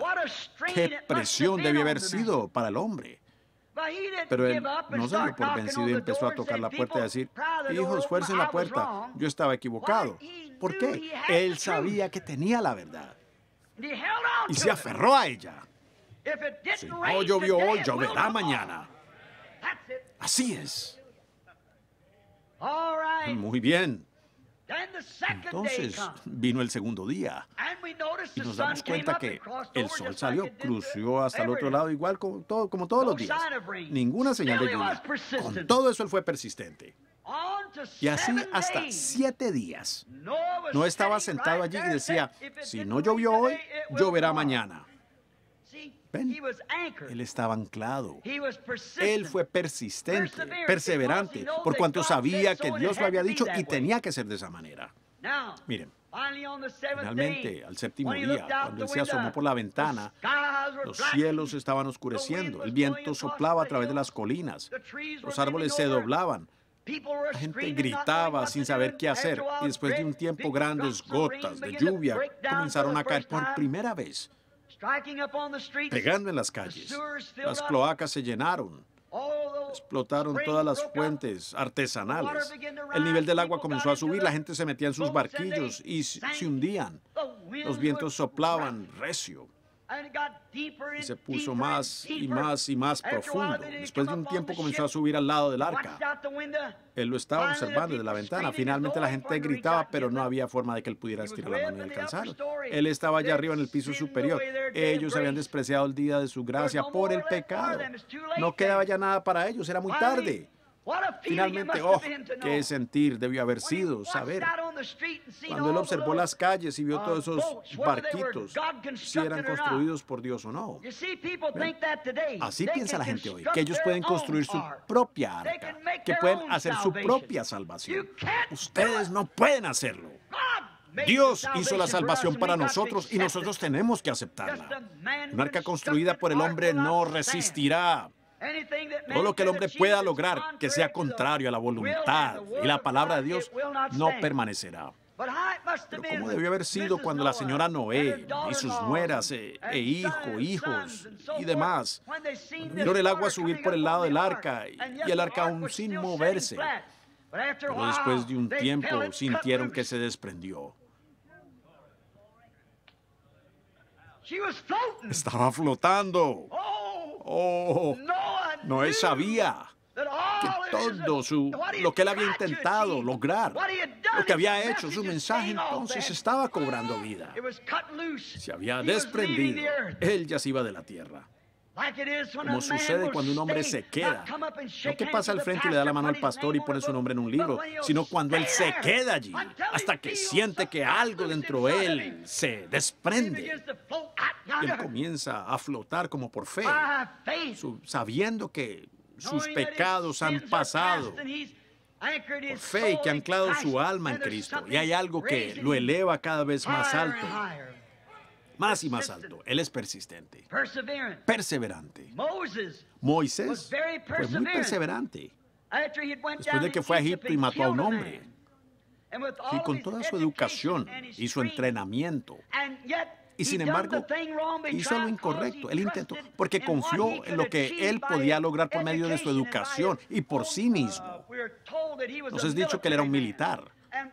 Y lo que él había sido entrenado para hacer, hallamos que eso falló. Y cuando falló, él no fue perseverante en eso, sino que huyó al 40 years. desierto por 40 años. Pero una vez que se encontró con Dios en una zarza ardiendo, se quitó los zapatos y vio la gloria de Dios. Él vio una vara seca convertirse en serpiente y volverse a vara nuevamente. Él vio una mano leprosa ser sanada por el poder de Dios. Voice oyó la voz de Dios hablarle. "Nothing's gonna stop Entonces you." nada iba a detenerlo. Yo a menudo lo he escrito, lo he escrito. Espero no ser en esto una forma sacrílica. 80 years old, Un hermano de wife sitting 80 straddled años de edad, su esposa sentada ahorcajada sobre una mula con un niñito sobre la cadera. Al día siguiente, barba colgándole la vara en la mano, sus ojos fijos mirando al cielo, una barba canosa siendo movida por el viento. Alguien le pregunta, ¿a dónde vas, Moisés? Voy a Egipto a conquistar. Una invasión de un solo hombre. Kinda Parecía algo ridículo. Pero los caminos de Dios son ridículos para la mente carnal. Pero es precioso para aquellos que están anclados en ello. Ellos saben de lo que están hablando. Ellos siguen adelante. Oh, Oh, qué tremendo debió haber sido aquello. Noé, mejor dicho, Moisés yendo a Egipto. Una nación que tenía a todo el mundo atemorizado, como Rusia hoy en día, la invasión de un solo hombre, un anciano de 80 años con su esposa sentada sobre una mula y con una vara torcida en la mano, yendo allá a conquistar. Y lo extraño, el caso, para el mundo, es que lo hizo. Él conquistó. Dios solamente necesita de un solo hombre, una sola persona, algún lugar que esté atada a él. A alguien que sabe en dónde está parado y que es perseverante. Entonces las persecuciones, las diferencias no los molestan a ellos. En lo absoluto. Van allá a conquistar y lo hizo. Yendo allá a conquistar y lo hizo. Parecía muy ridículo. Cuando allí se paró un hombre de unos 14 pies de altura o más. Creo que sus dedos eran de 14 pulgadas de largo. Con una lanza en la mano, como un rodillo de telar, quizás como la mitad de la distancia de aquí a esa puerta, parado allí y desafiando a Israel. Allí estaba Saúl del otro lado, cabeza y hombros por encima de su ejército. Un hombre educado. Todos ellos bien educados, pero amedrantados. Amedrentados. Correcto, así es. Y el diablo quería negociar con ellos.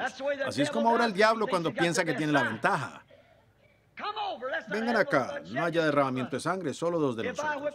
Si yo derroto al hombre de ustedes, entonces nosotros, ustedes nos servirán a nosotros. Si él me mata a mí, entonces solo morirá uno de nosotros, en vez de nuestros ejércitos. ¿Qué propuesta puede hacer él? Todos estaban muertos de miedo. Y parecía ridículo ver a un muchachito de hombros encorvados llegar allí con una piel de oveja envuelto allí y una onda atada a su costado y con unas tortas de pasas en la mano a visitar a sus hermanos. Y aquel diablo pronunció su jactancia ante el varón de Dios una sola vez y él se lo reclamó. ¿Por qué? Él sabía quién era Dios. Dijo yo, ¿me quieren decir que ustedes van a permitir que los ejércitos del Dios vivo dejen que ese filisteo incircunciso desafíe a los ejércitos del Dios vivo? Yo iría a pelear con él. Oh, ¡Qué cosa! ¿Por qué? Fue persistente. Sus hermanos le dijeron, ah, nosotros sabemos que tú eres travieso, regresa a casa con esas ovejas que papá te dijo que cuidaras. Solo viniste aquí para ver la batalla. Usted no puede convencer a un varón de Dios una vez que algo le ha sucedido. Así que él va ante Saúl. Imagino que Saúl se rascó la cabeza y lo miró. Admiro tu valor, le dijo, hijo. Pero ese hombre es un guerrero. Ese hombre es un guerrero desde su juventud. Y tú no eres sino un muchacho y no sabes nada acerca de una onda o de una lanza, ni cómo batirte en duelo o pelear. O observenlo presentar algo. Tu siervo. cuidaba las ovejas de su padre.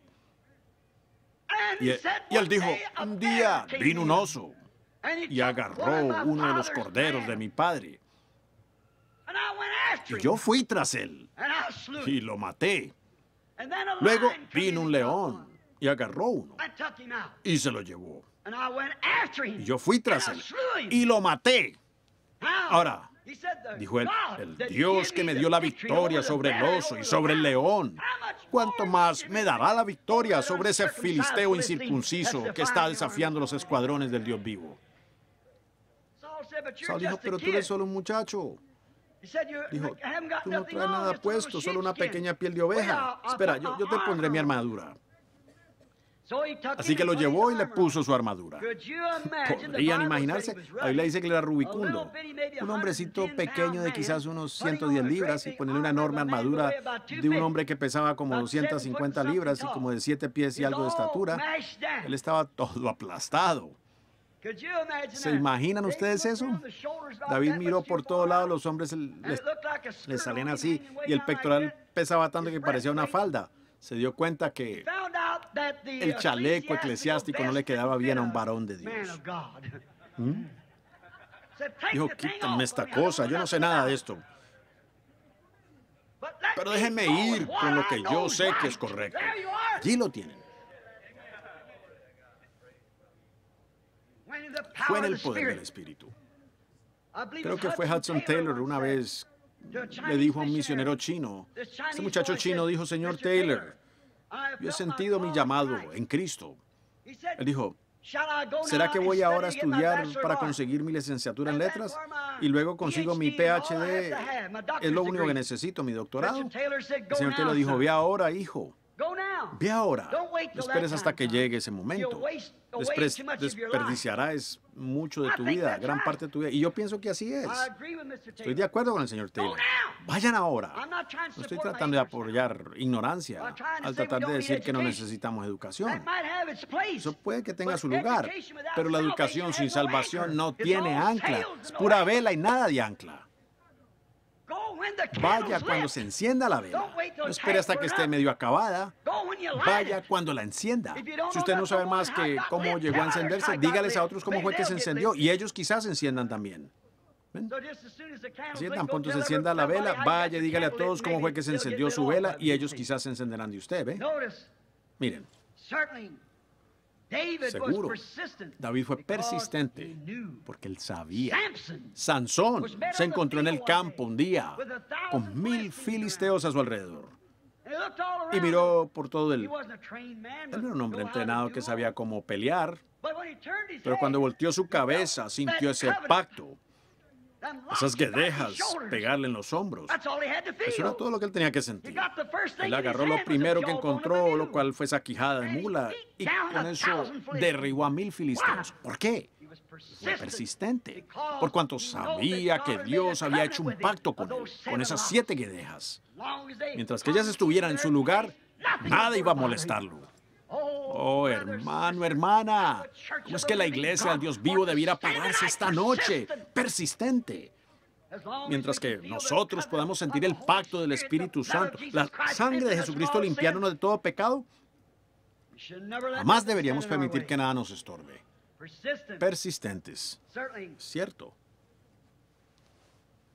Juan, el gran profeta, del cual se había hablado que se levantaría. Él estaba en el desierto. Dios le habló. Ellos estaban esperando un Mesías, desde luego, 400 años antes de que tuvieran, que habían, hubieran tenido un profeta. Pero Dios le habló en el desierto le dijo, mira, ellos tratarán de decirte que el doctor fulano tal es el hombre debería, que debería ser el Mesías.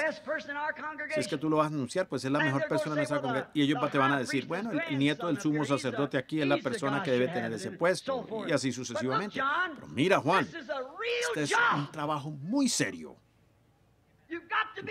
Tienes que estar seguro, así que voy a darte una señal. Sobre quien vieres descender el Espíritu y que permanezca sobre él, ese será el que os bautizará con el Espíritu Santo y fuego. Juan se paró allí, observó las congregaciones a medida que venían y él Todos venían. Había de esto, aquellos y todo. Pero él no podía ver. Un día mientras estaba parado allí debatiendo con el sacerdote que le decía, ¿me quieres decir que llegará el tiempo en que el sacrificio diario no será quitado? dijo, vendrá un hombre. Y él miró. Allí estaba. Dijo, he aquí, allí está el Cordero de Dios que quita el pecado del mundo. Él lo sabía. Porque Dios le había dicho sobre quien vieres el Espíritu descendiendo. Lo sabía. Él fue persistente. Volvamos a esta mujercita. Tenemos muchas cosas que pudiéramos decir acerca de varios que fueron perseverantes, persistentes, que se aferraron para creer, para lograr algo. Tengo un dicho que menciono con frecuencia. Sería bueno que ustedes lo adopten. Un ganador nunca se da por vencido y uno que se da por vencido nunca gana. Piénsenlo. Un ganador nunca se da por vencido y uno que se da por vencido no puede ganar. Usted tiene que ser persistente. Y antes de que usted aún pueda comenzar, esté absolutamente seguro de que usted está en lo correcto. Y entonces sea persistente. No deje que nada lo mueva. Siga adelante. He tenido bastante experiencia en cuanto a eso y uno lo sabe. Yo sé esto. Cuando uno está completamente seguro que está en la voluntad de Dios, cuando uno está plenamente seguro de que está centrado en el Calvario, nada lo moverá. Uno está allí. Esta mujercita era una griega, una sirofenicia, y ella había oído de la fama de Jesús. Ahora, ¿cómo viene la fe? Por el oír, por el oír de la palabra. Ella había escuchado él. Y ustedes saben, ella quizás había tenido muchas cosas que le impedían. Al ser griega, la fe viene por el oír, sabemos eso. Ella tenía, muchas cosas que le impedían. Pero la fe haya una fuente de la cual nadie sabe al respecto. La fe haya esta fuente que nadie puede explicar. Es algo que usted sabe. Otros no pueden verlo, pero la fe lo ve. La fe ve eso, mientras que el ojo natural no lo ve, pero el ojo interior ve esa cosa. Ahora, ella tenía una necesidad de Jesús. lo, primero es que usted tiene que hacer es, si va a encontrar a Cristo, usted tiene que saber que tiene una necesidad de Él. Cuando usted piensa que sencillamente no lo necesita, entonces nunca lo encontrará por causa de que no lo buscará diligentemente. ¿Se fijaron en esa escritura donde dice buscad y hallaréis? Llamad y se os abrirá. Realmente eso no es llamar como y se abrirá. No. No es el que simplemente dice, bueno, ya yo salía, Señor, aquí estoy, me necesita. No, eso no es. El que busca, el que llama continuamente, tiene que cuadrar con el resto de las escrituras, como el juez injusto y la viuda. Ya constantemente llamó a su puerta. Ya fue persistente. Si ella la despedía hoy, mañana estaría molestando. Así es como usted quiere hallar audiencia con Dios, molestándolo cada mañana, cada noche, cada día, todo el tiempo, constantemente. Solo siga buscando, siga pidiendo, siga llamando. No llame un ratito y se canse y se vaya. Siga parado allí. Señor, aquí estoy y no me voy a ir y presente para molestar. Me voy a quedar aquí mismo. ¿Te estás cansando de escuchar? Me estoy gozando grandemente llamando porque sé que tú vas a venir. Allí es cuando algo sucede. Él tiene que terminar con esa molestia. ¿ven? Entonces él sale para responderle a usted. Miren, la fe encuentra esto. Su palabra es una espada. La Biblia dice en Hebreos 4:12 que la palabra de Dios es más cortante que toda espada filos. Ahora, una sola cosa que puede sostener esta espada y es la mano de fe. La mano de fe es lo único que puede manejar esta espada de fe. Espada de la palabra. Ahora, quizás usted tenga un brazo débil, apenas lo suficiente para levantarlo para justificación de lo débil que está. Quizás solo esa, con eso se pueda cortar, pero esta espada de la palabra cortará toda promesa que Dios ha hecho allí, la liberará. Si, si, ellos tienen un buen brazo fuerte de fe sosteniéndola allí. Yo le creo a Dios por mi sanidad. Yo le creo a Dios por mi bautismo. Dios hizo la promesa y la fe sostiene esta espada y la cortará allí de la piedra. Toda promesa de Dios se puede cortar y obtener por medio de la palabra de Dios, pues ella es una espada. Ella tenía muchos impedimentos, pero su fe no tenía ninguno. Usted quizá tenga muchos impedimentos. Toda persona que sale a encontrarse con Cristo hallará que tiene muchos obstáculos, pero su fe no tiene ninguno. La fe no tiene impedimentos. La fe tiene pelo en el pecho y grandes músculos. Los razonamientos se levantan y dicen, tú sabes, es razonable. La fe muestra los músculos y saca su gran pecho y dice, cállate, siéntate. El razonamiento se va a una esquina allí y se queda sentado. Correcto. La fe tiene músculos. Y lo que dice, lo dice en serio. Eso es lo que necesitamos nosotros esta noche. Eso es lo que la iglesia cuadrangular necesita. Eso es lo que necesita el grupo pentecostal. Eso es lo que el mundo entero necesita. Eso es lo que yo necesito. Eso es lo que usted necesita. Ya nos vergüenza admitirlo. Pero necesitamos una fe que sostenga la palabra de Dios y diga que ella es verdad. Enfréntese al diablo y dígale, así dice el Señor. Estaba leyendo en otro día donde un hombre dice que el diablo apareció ante él. Y decía, él era un diablito pequeño. Y él le dijo, ¡bu! Dijo, yo di un salto hacia atrás. Y dijo, él dijo, ¡bu! Y yo di un salto hacia atrás. Cada vez que él gritaba, ¡bu! y yo daba un salto hacia atrás, él se hacía más grande y yo me hacía más pequeño. Y dijo, él seguía diciendo, ¡bu! Dijo, y yo me hacía cada vez más pequeño cuando daba un salto hacia atrás. Y él se hacía más grande. Y me dijo, yo miré alrededor y pensé que encontré la palabra. Yo le, le enrollé mi, me enrollé la manga y el diablo me dijo bu y yo le dije bu también y cuando yo le dije bu también cada vez él decía bu se hacía más para, más pequeño y, y, yo me hacía más grande.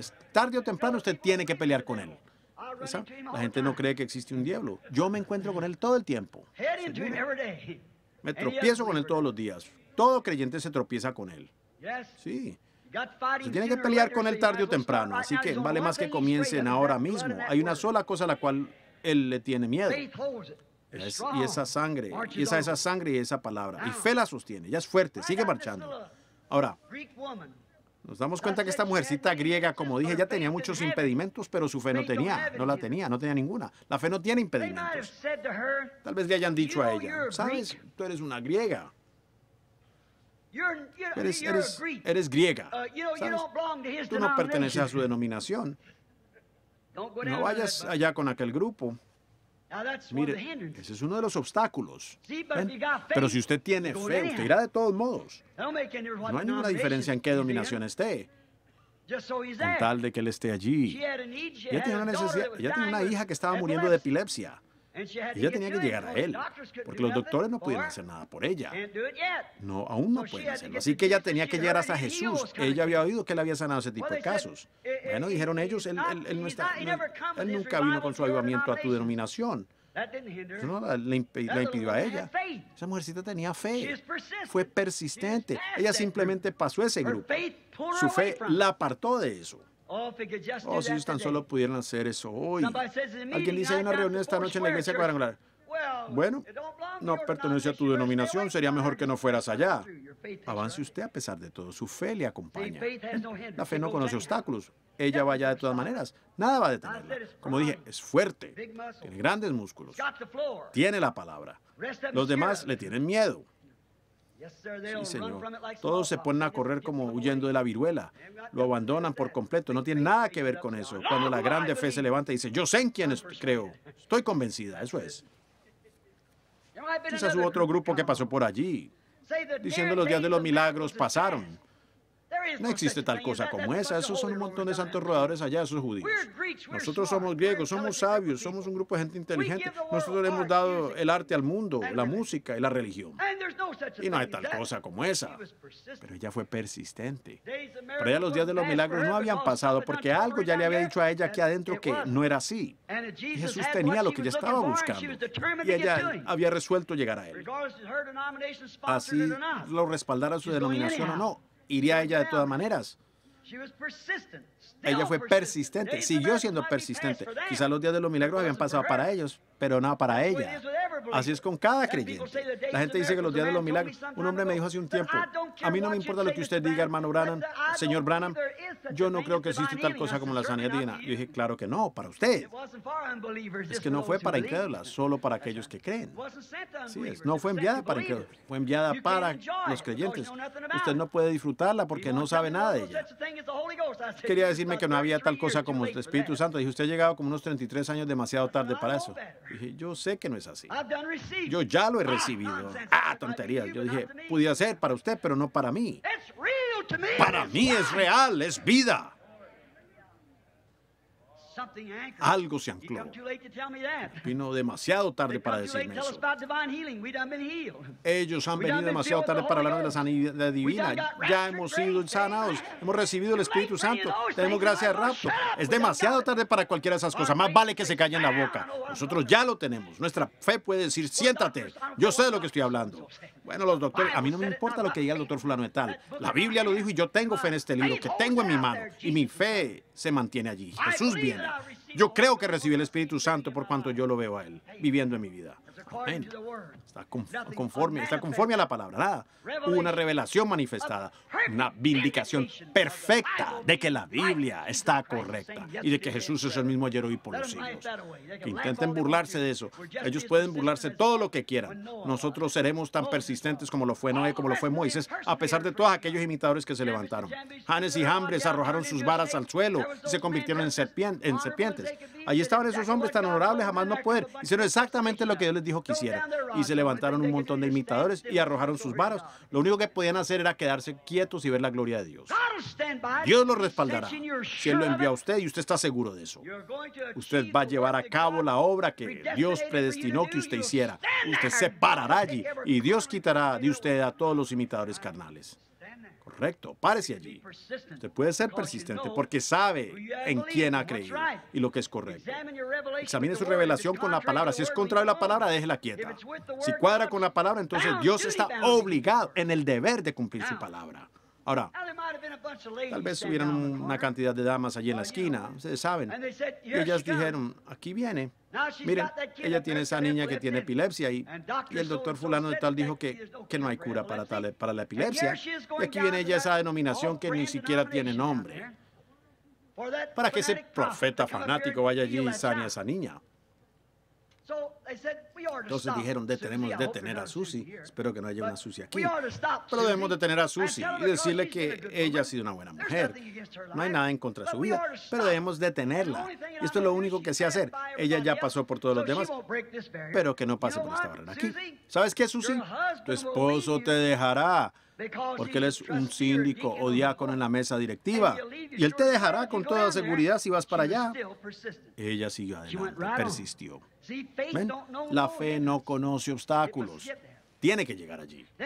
Luego ella pasó junto a otro grupo que le dijo, ¿sabes qué? Cuando regreses derrotada y te des cuenta de que no hay nada en eso, todos en el vecindario se reirán de ti. Eso ni siquiera le llegó a oídos. Ella fue persistente, siguió adelante. Me gusta eso. Me gusta esa persistencia.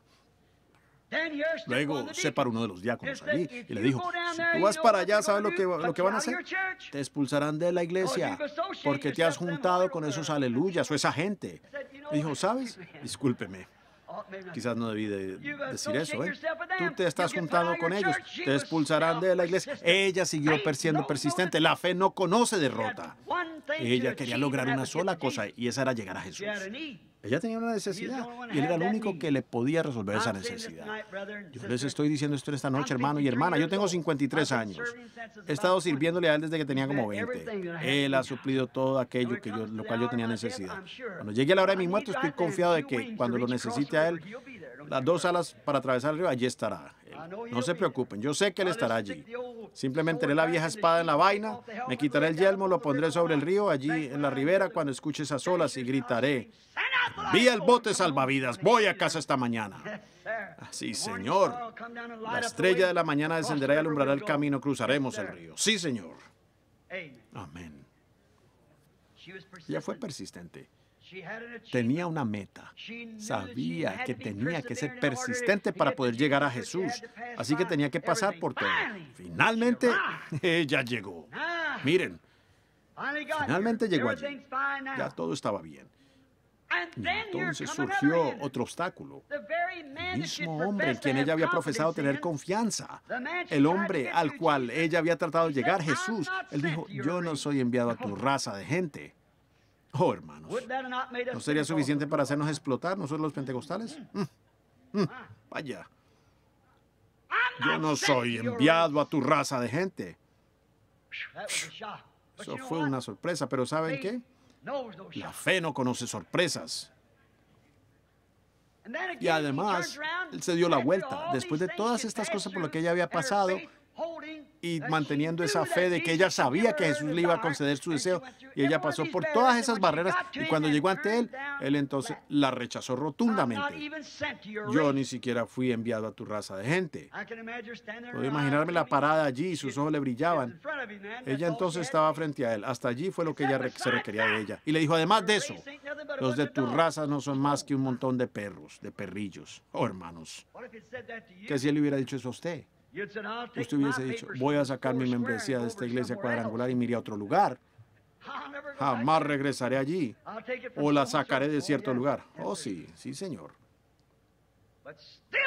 Con todo eso ella se mantuvo firme. Oh, joven, la fe no conoce derrota. Nada la detendrá. Aunque Jesús le dijo, el mismo a quien ella había venido, dijo, yo no soy enviado a tu raza gente y ellos no son sino un montón de perrillos. ¿Pero qué? Ya tenía fe genuina. La fe no conoce derrota, no me importa de dónde provenga. No conoce derrota, pues ella tenía fe. Aún así ella se mantuvo firme. Oh, me encanta eso. Ella no era una planta de invernadero, una híbrida, como algunos hoy. Estas religiones híbridas que tenemos hoy en día, ustedes saben, ya no sirven. Todo es híbrido, híbrido. Incluso tienen iglesias híbridas, cristianos híbridos, admitidos por un apretón de manos. Oh, ellos pueden vestir mejor, quizás usan mejor inglés y demás, de esa manera, pero no tienen vida. Tomen un buen y grande grano de maíz híbrido, quizás dos veces tan bonito como el otro. Siémbrelo, morirá. No hay vida en él. Así es. Nosotros no queremos nada híbrido, queremos la cosa genuina. Si no la tienen, quédense allí hasta que venga. ¿Por qué aceptar un sustituto cuando los cielos pentecostales están llenos de lo verdadero? Nada híbrido. Eso no resistirá. una planta híbrida hay que estar fumigándola siempre para repelarle los insectos. Así es con algunos de estos cristianos híbridos. Hay que mimarlos y tratarlos con delicadeza y prometerle que serán diáconos o algo más, cuidándoles de las cositas del mundo de la incredulidad. Para que no se vayan de la iglesia. Échenlos de todas maneras. Correcto, ellos nunca formaron parte. Ustedes no pueden unirse a una iglesia. Ustedes pueden unirse a una logia. Ustedes pueden unirse a la iglesia metodista, a la logia bautista o a la logia pentecostal, pero si alguna vez vienen a Cristo, ustedes nacerán en la iglesia. Correcto. El cuerpo místico de Cristo. Las otras son logias. Así es. Eso está bien, nada en contra de ellas. Pero ustedes nacen en la iglesia de Dios vivo por el Espíritu de Dios. Ustedes no pueden unirse en lo absoluto. Y cuando nacen allí, allá adentro ustedes tienen un nacimiento. Ya usted no es un híbrido. Uno no tiene, uno se, uno se queda a la diestra o un autostopista. Nada al aire. Pues, así es. Exactamente. Ella fue persistente, ella no era híbrida. No tenían que rociarla con perfume para prepararla. Ella estaba allí parada. Parte de nuestra cosecha hoy, muchos de ellos son híbridos. algo así como David Duplessis, creo que yo dijo una vez, Dios no tiene nietos. El problema con nuestro movimiento pentecostal es que estamos obteniendo nietos pentecostales. Vienen porque nuestros padres y madres eran pentecostales. Los ponemos en el registro de los niños recién nacidos y luego allí crecen pero sin nada de experiencia. Y ellos dicen que también son pentecostales. No, señor, Dios no tiene nietos. Él no es abuelo, él es padre. Correcto. Si usted alguna vez llega al cielo, tendrá que pagar el precio que pagó su mamá o que pagó su papá. Amén. Eso quizás suene algo crudo, pero es la verdad. Una forma cruda de darlo a entender, pero ustedes estoy seguro que entienden ese tipo de inglés. No es un inglés muy bueno, pero se hace claro lo que estoy tratando de decir. Ustedes simplemente escuchen. Ya no era híbrida, no tenía que fumigarla y mimarla. Pues mire, querida hermana, déjeme decirte. Yo pensé que no, no, señor. No le importó lo que la, la tumbaba. Ella dijo, es verdad, nosotros no somos sino un montón de perrillos. Es verdad que no somos dignos de. Oh, hermanos, ella admitió que él tenía razón. Voy a decir algo tremendo. Prepárense. Cada vez la fe genuina admitirá que la palabra está correcta. Y cada vez que, si algo dice que los días de los milagros han pasado o algo en contra de la Biblia, no es fe genuina. La fe admitirá la verdad. Usted debe quedarse con la palabra. No importa lo que diga cualquier cosa, lo que diga alguien más, la palabra es la que está correcta. La palabra de todo hombre sea mentira y la mía verdadera. El que añadiere o le quitare, su parte le será quitada al libro de la vida. ¿Va Dios a juzgar al mundo por medio de una iglesia? ¿Por cuál? ¿Por la católica? ¿Por 600, ¿Hay 600 denominaciones distintas? ¿Cómo va a hacer eso? Dios va a juzgar el mundo por Jesucristo. Y Cristo en el principio era el verbo, el verbo era con Dios y el verbo era Dios. Y el verbo se hizo carne y habitó entre nosotros. Dios y la palabra son lo mismo. Esto es Dios en forma impresa. Usted tiene, el, usted tiene el Espíritu Santo, siembra esa semilla allí, lo trae a vida, produce la vida y la manifiesta y la vindica. Jesús dijo en San Juan 12, el que cree en mí, Mejor dicho, San Juan 14, 12. Las obras que yo hago, Él también las hará. Así que siempre reconoce la verdad. Oh, hermanos. Pero ustedes saben, ella dijo, eso es verdad. Nosotros no somos sino un montón de perrillos. Y no somos, tú realmente nos fuiste enviado a nosotros. Pero Señor, yo no estoy buscando todo el pan que tienen los hijos. Yo solo estoy buscando las migajas. Oh, hermanos. Ahora, ¿se fijaron ustedes? La gente, ellos quieren obtener esto, ser sanados y recibir el Espíritu Santo de la manera que ellos piensan que deberían recibirlo. Mira, yo iré, hermano. Si usted me lleva y me mete en un cuarto donde nadie me vea y pone sus manos sobre mí, me bendice y pone el Espíritu Santo sobre mí y me da el Espíritu Santo, yo lo aceptaré. Oh, no. Naaman quería aceptar su sanidad de esa manera, una vez. Pero Elías le dijo que fuera allá al lodoso Jordán y se sumergiera siete veces. Puedo verlo bajarse de su carruaje. Un hombre importante. Se tapa la nariz. Allí viene él, se mete al agua, pisando como un, mucho, con mucho cuidado, como un gato en la miel. Ustedes saben, metiéndose, oh, metiéndose en el agua. Dijo, ¿cómo odio hacer esto? Sí. Mucho cuidado. Alguna gente viene hacia el altar como si fuera algo de mucho asco. Sí. Oh, yo no quiero hacer eso. Él se zambulló una sola vez y dijo, pues todavía tengo lepra. El profeta dijo siete veces. Correcto. Hasta que obedeció la palabra de Dios completamente. Es hasta que usted la obedezca completamente. Tenía un buen hombre allí en la orilla que le dijo, el profeta dijo que siete veces, padres, sigue sumergiéndote. Si es. Si usted no recibe la primera noche, sumérjase de nuevo a la noche siguiente, siga hasta que usted lo reciba. Pero recuerden, ella era como Rahab, la ramera, esta mujercita. Ella nunca había visto un milagro. Únicamente había oído de un milagro. ¿Qué hará ella en el ¿Qué nos hará ella en el día del juicio? Ella nunca había visto un milagro. Ella era una gentil. Nunca lo había visto, pero había oído. Y nosotros los hemos visto y oído y aún así dudamos. Oh, hermanos. Ella era como Rahab la ramera. Cuando los espías vinieron, ella no tuvo que decir, déjeme decirles algo. Traigan acá a Josué y que él me haga un servicio y yo veré la manera como él se peina el cabello y la manera como habla y cómo es que se porta en el púlpito y veré si puedo aceptarlo o no.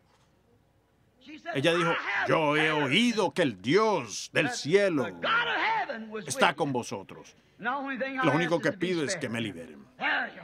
Allí lo tienen. Esa mujercita fue persistente. se mantuvo allí. Líbreme, yo haré cualquier cosa que ustedes quieran que haga. Oh, allí lo tienen. Así es. Esa mujercita, no importaba cuál fuera la dificultad, ella fue persistente. Oh, ella tuvo la actitud correcta hacia el don de Dios. Ella tuvo la actitud correcta, humildad. Ella cayó a sus pies y tuvo humildad. Ella no se puso de pie y dijo, mira, espera un momento. ¿Sabes? Nosotros los griegos, tú dijiste que éramos perrillos. Espera un momento, Señor. ¿Sabías tú que nosotros somos, nosotros somos los maestros del arte? Y que somos los maestros de esto y lo otro, de tal y tal cosa. Ella nunca pensó en eso para nada. Ella solo admitió que él tenía razón y se postró a sus pies y dijo, Señor, socórreme. Yo comeré las migajas y mi hija no puede comerse una rebanada completa de pan. ¿Permitirías que ella se coma las migajas si ella es una perrilla? ¡Oh, qué cosa! Allí lo tienen. ¿Nos conformaríamos nosotros solo con las migajas? Si el Espíritu Santo le revelara a alguien esta noche Tú estás sano. ¿Estaría usted dispuesto a tomar las migajas o quisiera que Dios se acercara y lo levantara y le diera alguna clase de sensación? Si Él simplemente dijera en el corazón suyo, mi enfermedad ha terminado. Tú ya no la tienes. Yo creo que voy a estar sano a partir de esta noche. ¿Aceptaría usted las migajas? ¿O quisiera usted que todos vinieran e impusieran las manos sobre usted, le derramaran aceite y pasaran por el ritual habitual de esa manera? ¿O está usted simplemente buscando migajas? Dios honrará eso. ¿Saben? Muchos de sus discípulos lo habían visto a él después de su reacción. Tomás dijo, no, no, yo no lo creo. Yo, tengo que meter mis manos en las marcas de sus clavos, en sus manos y en su costado. Entonces lo creeré. Dijo, ven acá, Tomás. Dijo, tócame. Él lo hizo. Dijo, mi Señor y mi Dios. Dijo Tomás, porque has visto y sentido y todo, ¿crees? Sí, Señor. Dijo, ¿cuánto mayor será la recompensa de aquellos que no han visto y sin embargo creerán en Él? ¿Estábamos nosotros dispuestos? ¿Somos nosotros gentiles como aquella mujer gentil? ¿Acaso fue ella un ejemplo para todos nosotros? Solo dame las migajas, Señor. Déjeme oír a alguien. Yo nunca he leído la palabra, pero dime que tú sanas a los enfermos. Esa migaja será suficiente para mí. Yo lo creo. Déjame oír a alguien decir y leerlo de la palabra el Espíritu Santo. Pedro dijo en el día de Pentecostés, arrepentidos y bautícese cada uno de vosotros en el nombre de Jesucristo para remisión de vuestros pecados y recibiréis el don del Espíritu Santo. Porque para vosotros es la promesa y para vuestros hijos y para los que estáis lejos, para cuantos el Señor vuestro Dios llamare. Señor, yo creo que eso es correcto. Esa es una migaja. Eso es todo lo que usted necesita, tiene que hacer. Venga, ¿estamos nosotros dispuestos a tomar las migajas? ¿Estamos dispuestos a humillarnos? Ella estuvo. Ella estuvo dispuesta a humillarse. La fe siempre admite que la palabra está correcta. La fe siempre es humilde. La fe se humilla. Miren, ella solo estaba buscando las migajas. Vean lo que dijo Jesús.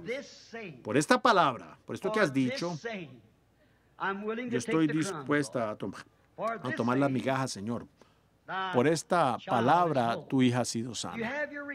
Tú puedes recibir tu petición por cuanto lo crees. La fe admite que la palabra está correcta. La fe admite todas estas cosas. Marta, María, Podemos mencionar a muchos a través de la Biblia, la mujer tsunamita. Muchas cosas y casos que pudiéramos mencionar, pero no tenemos tiempo para hacerlo. Tengo como cinco páginas aquí, miren, escritas de gente que se acercó buscando migajas. Pero omitamos eso por un momento. Siento que el Espíritu Santo está cerca. No creo que eso sea necesario. Permítame que les relate una pequeña experiencia los hombres de negocio escribieron algo allí, un pequeño artículo no hace mucho en su revista. Recuerden, imprime algo vale más que lo pueda respaldar. Lo tenemos, una declaración documentada del médico. Veo que hay bastante gente hispana en la iglesia esta noche. Yo estaba en Ciudad de México y teníamos una reunión gloriosa. He estado allí unas tres noches. Había un hombre a quien yo llamaba mañana. Él tenía que recogerme a las seis y me recogía como a las nueve. Y, no porque, y como era tan lento, yo decía que él era mañana. Y cuando llegamos a este gran cuadrilátero donde yo predicaría, tuvieron que subirme allí en una escalera y luego bajarme con cuerdas a la plataforma. La noche anterior hubo un hombre mexicano que había venido a la reunión. Y el anciano lloviendo como estaba. Pero él vino a la plataforma ciego. Él vino, yo lo miré, yo traía puesto unos buenos zapatos y un buen traje. Y el pobre anciano, él estaba descalzo, sus pantalones todos andrajosos. Y les diré que quién era mi intérprete. Usted lo conoce, el hermano Espinosa, de aquí de Sacramento, California, un hermano pentecostal. Él estaba interpretando. Habíamos tenido como en las dos noches, creo que alrededor de 30 o 40 mil convertidos del catolicismo al cristianismo y al Espíritu Santo. Este anciano vino a la plataforma. Y si uno no siente, si usted no siente por la gente por la que está orando, no hay necesidad de orar por ellos. Uno tiene que ponerse en su lugar, en el lugar de ellos. Y yo pensé, si mi anciano padre viviera hoy, él tendría como la edad de este anciano. Y aquí está él. No tiene zapatos, Tampoco traía camisa, un saco viejo, andrajoso, polvoriento, un sombrero viejo en la mano, cosido con cuerdas. El anciano probablemente nunca se había comido una buena comida en su vida. Y luego lo cruel que había sido el destino con él, pues allí estaba andando a tientas en su ceguera. Sus ojos estaban blancos. Mire al anciano. Yo, yo sencillamente lo abracé. Y el hermano Espinosa no interpretó la oración. Y yo dije, Padre Celestial, si yo pudiera darle mis zapatos, me los quitaría silosamente para que nadie los viera. Le daría mi saco, lo enviaría a casa, pero es mucho más grande que yo. Pero Dios, ten misericordia de él. Devuélvele su vista. Gritó, gloria a Dios. Yo miré alrededor y a ver tan bien como yo. La noche siguiente había una una repisa, un montón del largo de este edificio, como de este alto, de nada sino puros chales y ropa vieja y andrajosa. La economía de México no está bien equilibrada. Quizás Pedro gane, siendo un albañil, quizás se gane 16 pesos al día. Pero se requiere la ganancia de cuatro días de trabajo para comprar un par de zapatos. Pero él tenía que ahorrar de allí algunos pesos para pagar por una vela en un altar de un millón de dólares por sus pecados. Eso me hace servir la sangre. Al ver a esa gente preciosa, ellos habían llegado allí a las nueve de la mañana. No había asientos para sentarse. Ellos se recostaban el uno del otro como ovejas en un pastal, lloviendo. Aquellas mujeres paradas con su cabello largo todo mojado, esperando todo el día en el sol caliente o la lluvia solo para oír la palabra de Dios. Oh, ¿qué harán ellos cuando Phoenix se levante en el día del juicio con ellos? cuando con iglesias finas en todos lugares y uno no los puede meter ni a la fuerza. Allí estaba ella parada, o él, estaba parado, mejor dicho, con su vista. Esa noche cuando llegué estaba lloviendo duro. El hermano Jack Moore, muchos de ustedes lo conocen. El hermano Espinosa y varios hermanos estaban en la plataforma.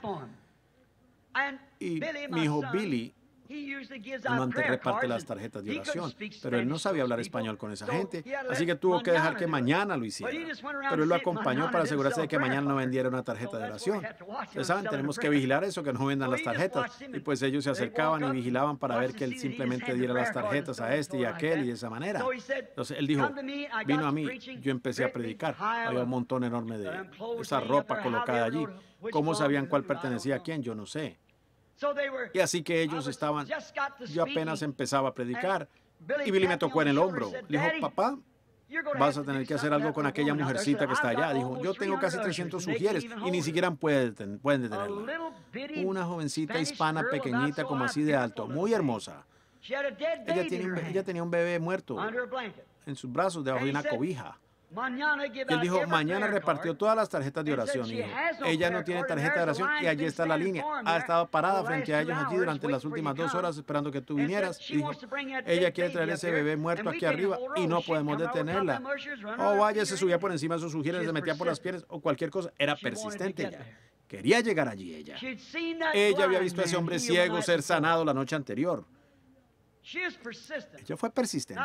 hermano Moore, ella no sabe quién soy yo, ella no sabe quién es quién. Usted simplemente vaya allá y ore por el bebé. Eso lo solucionará. Ella dijo, de acuerdo, hermano. Billy lo agarró por el brazo como si fuera yo. Bajaron a la plataforma. dije, estoy muy contento de estar aquí esta noche. Y las reuniones no son raras para ustedes personas aquí en Phoenix. Yo vi frente a mí un bebecito mexicano sin dientes, riéndose en una visión, estando allí. Yo dije, espere un momento. Espere un momento. Hermano Espinosa, vaya al... ¿Qué, es lo que sucede? Dije, vaya al micrófono. dígale a ella que venga aquí. Dijo, papá, dijo Billy, tú no puedes pasarla allá por encima de todas esas tarjetas. Yo dije, tráela aquí, acabo de ver una visión. Así que ellos la llamaron y regresaron. Ahí venía ella, con una cobija en la mano así y un bebecito envuelto allí. Había estado muerto desde temprano esa mañana. Murió de neumonía. Un pequeñito así como así de largo. Y ahí venía ella, las lágrimas le bajaban por sus mejillas. Una damita muy encantadora. El pelo como así de largo. Ella corrió hasta la plataforma, cayó sobre sus rodillas y empezó a gritar, Padre. Yo le dije, póngase de pie por un momento. Yo pensé, Señor, ¿qué si eso no es eso? No, no sé. Yo simplemente vi un bebecito mexicano, pequeño, sin dientes, con sus pequeñas encías, estaba riendo conmigo estando allí. Y ella estaba allí llorando. Puse mi mano sobre la cobija mojada y en ese momento estaba lloviendo. Dije, Padre Celestial, esta mujercita, hay duda en mi mente que tú le vas a responder a ella. Dije, yo vi una visión que tú sabes que es verdad. Y un bebecito. Yo solo estoy aceptando por fe que es este bebé. Yo no conozco a la mujer ni al bebé, pero algo. Tú obras en ambos extremos de la línea. Puse mis manos sobre él y cuando lo hice, este pataleó y gritó tan fuerte como podía gritar. La madre le quitó la cobijita de encima y allí estaba vivo en sus brazos. Yo dije, hermano Espinosa, no anoten eso, pero envía a una persona que sea bien honrada. Y ella lo estaba relatando en mexicano que el doctor había pronunciado muerto a su bebé con neumonía. Esa mañana como a las 8 o 9 y ya eran más de las 10 esa noche. Y yo dije, envíe y consiga una declaración documentada por escrito que lo pronunció muerto. Y el doctor mexicano escribió una declaración y la afirmó. Yo pronuncié al bebé muerto. No tenía respiración ni nada. En mi consultorio esta mañana a las 9. Y eran las 10 de la noche. Y la mañana siguiente el bebé estaba en el consultorio del doctor para ser examinado. Estaba normal otra vez. ¿Por qué? Porque esa mujercita fue perseverante. La fe no conoce derrota. Aunque hubiera cinco mil parados allí en ese lugar, nada pudo estorbarle. Aunque su iglesia la expulsara y sus vecinas se burlaran de ella, pero un Dios que pudo abrir los ojos ciegos de un hombre la noche anterior podía también resucitar a su bebé, porque Él es el mismo Dios ayer, hoy y por los siglos. Y si este grupo de gente aquí, de personas aquí esta noche, si ustedes son andan buscando de migajas al mismo Dios que los trajo a ustedes aquí, que pudo guiarlos a un lugar como este, el Dios que los salvó a ustedes, el Dios que pudo llenarlos con el Espíritu Santo, ese mismo Dios puede quitar toda enfermedad y dolor, lo que sea que esté en sus corazones en esta noche. Si ustedes lo creen, perseverante, persistente, tire la mano y agarre esa migajita de fe ahora mismo y diga gracias por eso, Señor. Aquí vengo. Mañana el vecino le dirá, tú no estás sano. Dígale, oh, pero sí lo estoy. Lo estoy. Anoche encontré una migaja en la iglesia cuadrangular. Algo se ancló en mí y nada me detendrá. La tengo. Inclinemos nuestros rostros un momento. ¿Necesita usted una migaja esta noche? ¿Podría tomar esa migaja usted y ser persistente con ella? La pequeña migaja de fe que vino una, una mujercita griega gentil. Nunca en su vida ha visto un milagro. Una pagana, idólatra. Pero ella oyó que había sido obrado en otro. Ella nunca lo había visto. Pero lo creyó. Y a pesar de todas las desilusiones que ella había tenido, algo en su corazón le decía que su niña podría ser sanada. ¿Saben? Cuando ella llegó a casa encontró a su hija acostada en una cama. El ataque había desaparecido, ya no lo tenía. No solo para ella, sino para su hija que no estaba presente. ¿Necesita usted una migaja esta noche? Si es así, levante la mano y diga, Señor, una migaja es todo lo que necesito, lo que te pido. Oh Padre Celestial, mira esos gentiles que buscan de migajas. Los tiempos aún no han cambiado, Padre. Señor, ellos han oído, ellos han oído que tú sanas a los enfermos, han oído que tú llenas con el Espíritu Santo, tú les das descanso al cansado.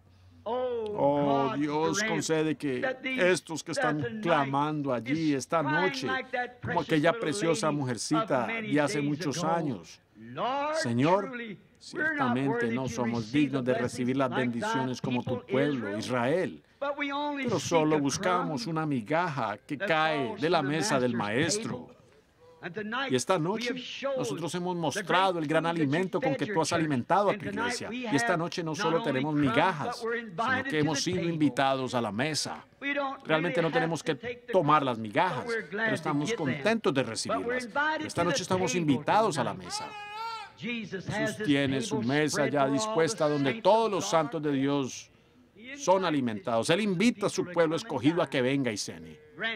Concede esta noche, Padre, que todo el que tenga una necesidad, que esa necesidad sea suplida. Mientras tenemos nuestros rostros inclinados y nuestros corazones en humildad delante de Dios, me pregunto cuántas personas aquí en este edificio esta noche que no son salvos y que si Jesús viniera y el mundo llegara a su fin esta noche y ustedes si ustedes están dispuestos a tomar la pequeña migaja de fe que ha sido depositada en su corazón y a venir a la mesa esta noche, presentando su migajita de fe ante Dios, y quisieran hacerlo así, pónganse de pie y vengan aquí y permítanos orar por usted aquí en el altar. ¿Vendrán sin ninguna demora? Bajen, bajen. Dios lo bendiga, mi hermano. ¿Alguien más quisiera venir? El Señor sea con usted. Alguien más aquí que quiera una migaja, que venga a la mesa del Señor, diga, Señor, no soy digno de venir, yo soy, soy, soy un perrillo, simplemente no soy digno. Como esa mujer, pero solo vengo por una migaja. ¿Vendría usted, amigo pecador? Podría ser la última vez. ¿Ven cómo el mundo se está poniendo hoy? La gente ya no quiere venir, ya no se pueden convencer los campos, ya el Evangelio está yendo a los campos misioneros. Dios le bendiga, mi, mi buen hermano. Dios le bendiga, eso es maravilloso. Manténgase de pie allí por un momento. Alguien más aquí de, de este lado y diga, yo me paro aquí con este hombre.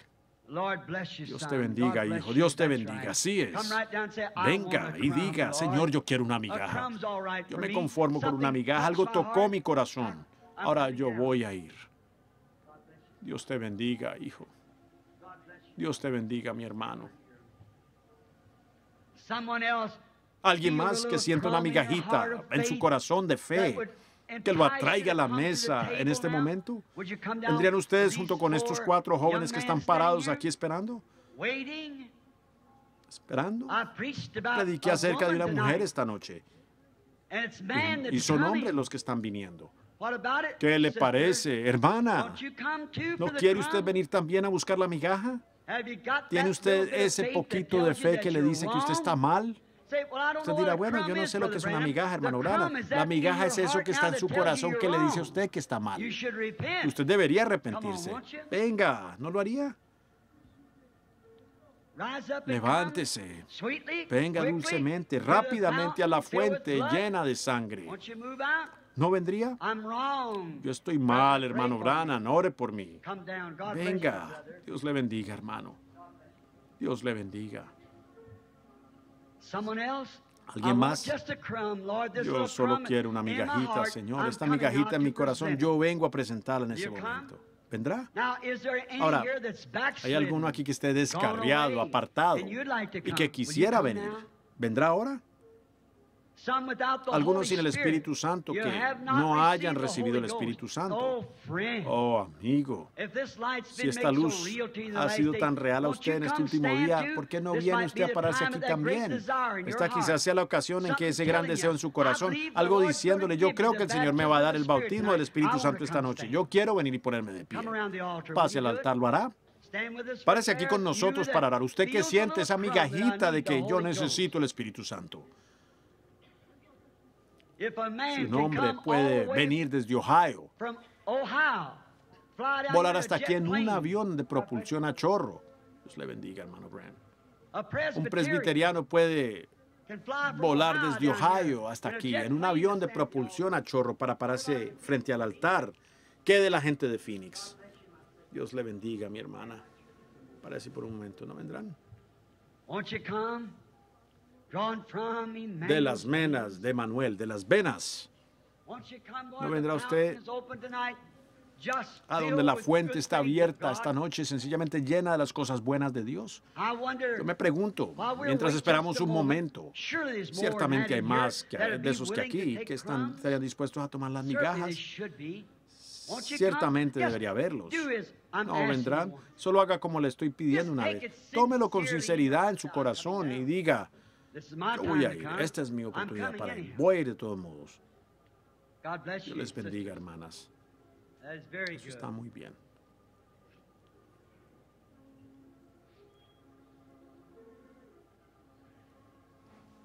Estamos esperando pacientemente que ustedes vengan.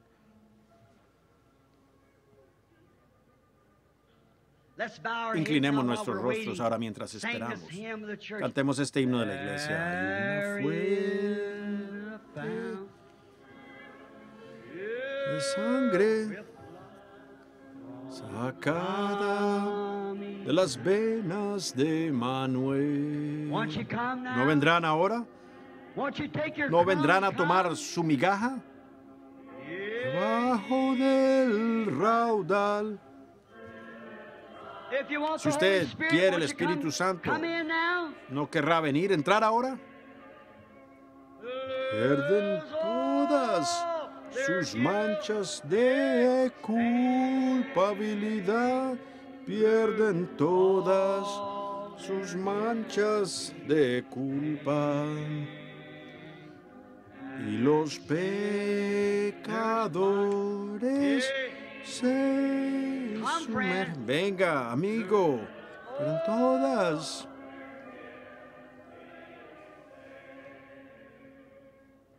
The Ladrón.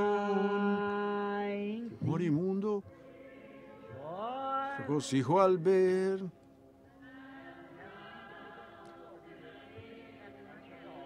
¿Quién le va a relatar a usted?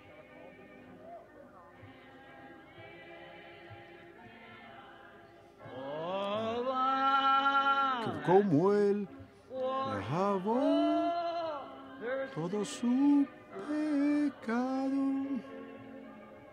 Dios le bendiga, mi hermano. Así se hace. Me pregunto si los ministros aquí quisieran venir y pararse aquí con nosotros. Ministros en el edificio, vengan y párense aquí alrededor con nosotros por un momento. Instructores que están interesados en las almas perdidas. Que yo tan vil como él all my todo mi pecado. Me pregunto si hay ministers ministros aquí, instructores en la palabra que quisieran venir. Recuerden que en estos momentos se están decidiendo destinos eternos. Aquí hay como siete u ocho, diez personas paradas aquí.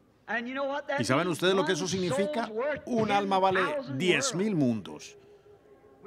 No debemos tomar esto a la ligera.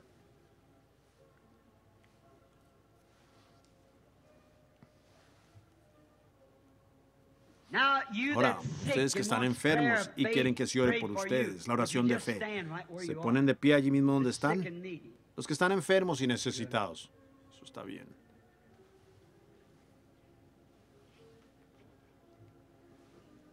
Ahora, mis hermanos ministros, your así es, pongan sus manos sobre estas personas.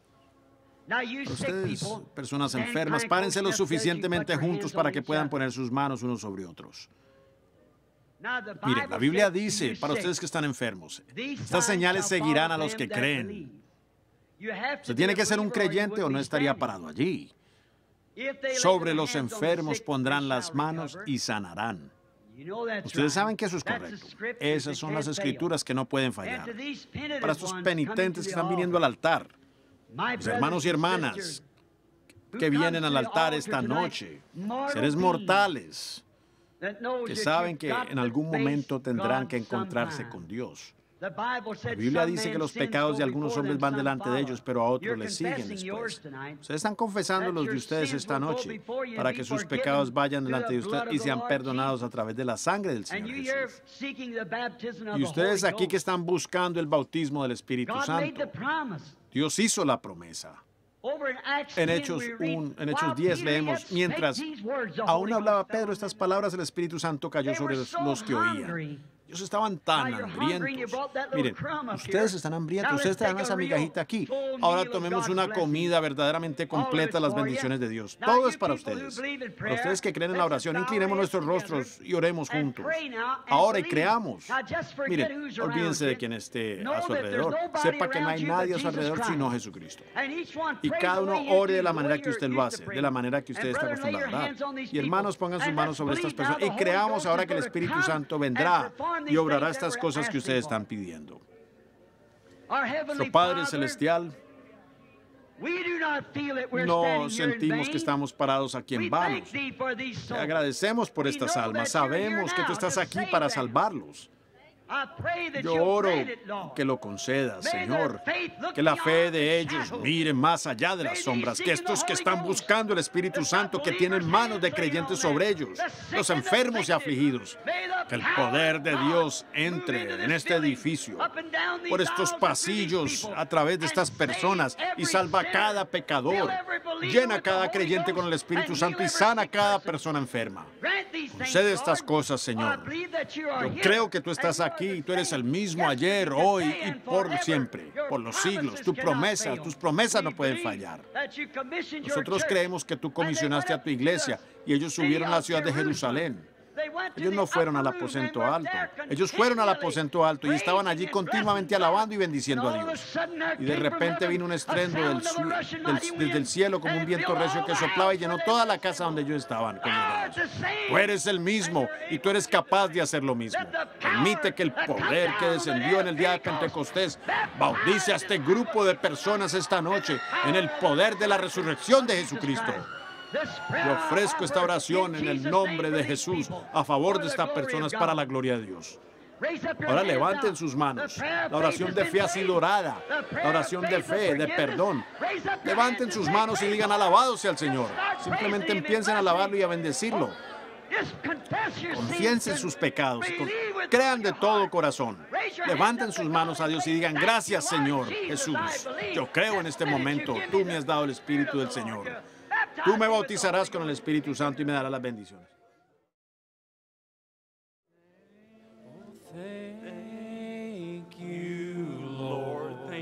Gracias, Señor.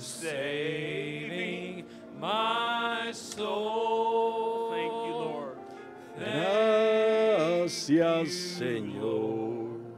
For making sanarme.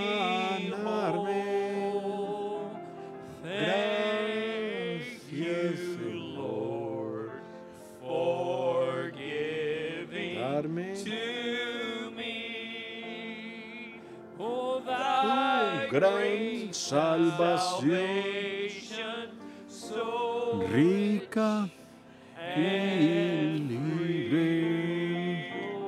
Gracias, Señor, por salvar mi alma. Gracias, Señor. Gracias, Señor. Sanarme. Gracias, Señor. Por darme tu gran salvación. Rica. Denle gracias a Él. Agradezcanle.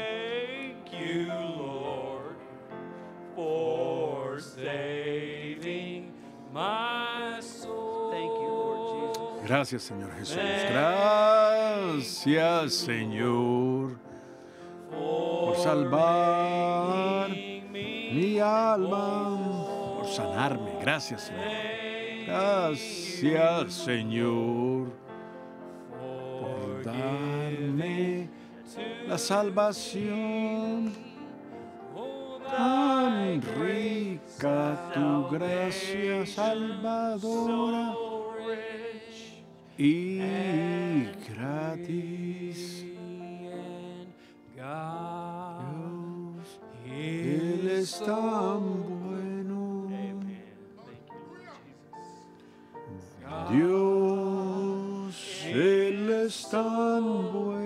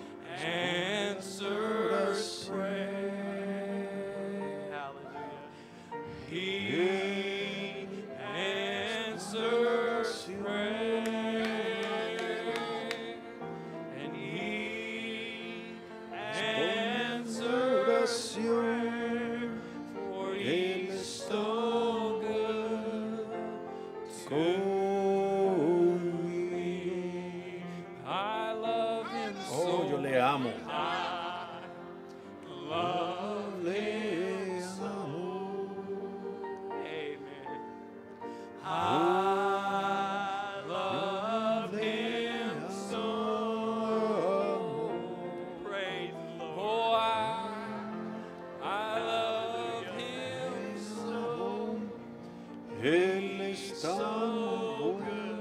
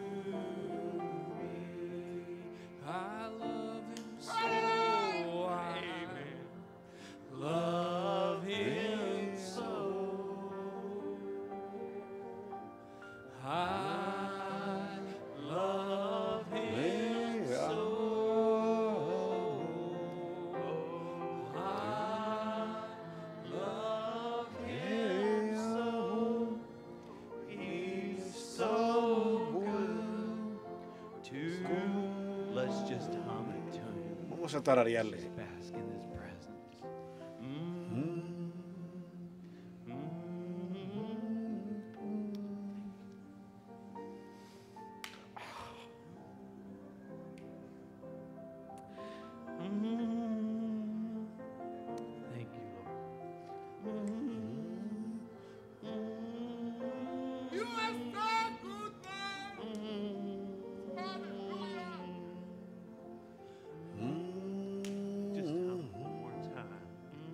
paz. Tararíamos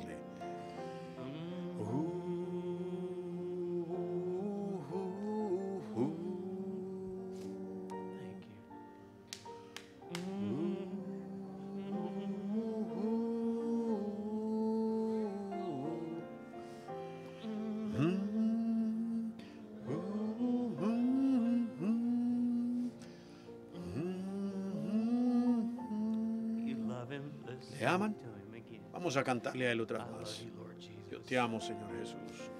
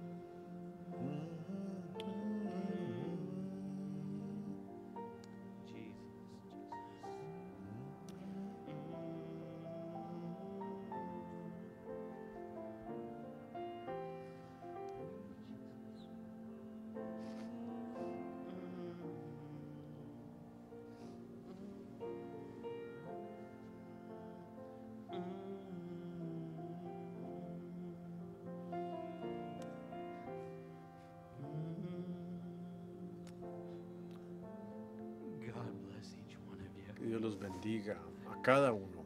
The prophet prayed for you. El profeta oró, por ustedes. Thank you, Lord Jesus. Oh, gracias, Señor Jesús. Just ask Brother David. Vamos a pedirle al hermano David si pasa. Give us a word of prayer. Nos despida en oración. What an honor it's to be Qué honor. Encountered with his people. Es poder ser contado con su pueblo. Sentimos tu presencia, Señor. Lord, we are convinced, Estamos convencidos we are persistent. de que hemos sido perseverantes. Almacenaste el alimento, Dios, para nosotros, para la novia, Lord Jesus, Señor Jesús. La novia alrededor del mundo glorifica tu We nombre. thank you, Lord Te damos Jesus, gracias, Señor Jesús, por este mensaje. Porque a dónde, a dónde pudiéramos, si solo tú tienes las palabras de vida eterna. of Llevaste, tomaste nuestros pecados y los pusiste en el mar del olvido de We Dios. believe that with all of our hearts. Lo creemos de todo corazón.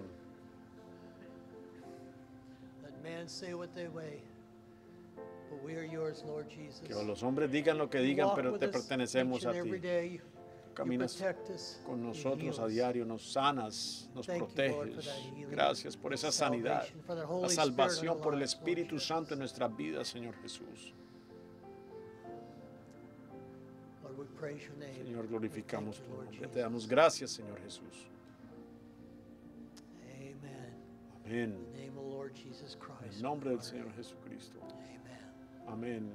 God is so good. God, is so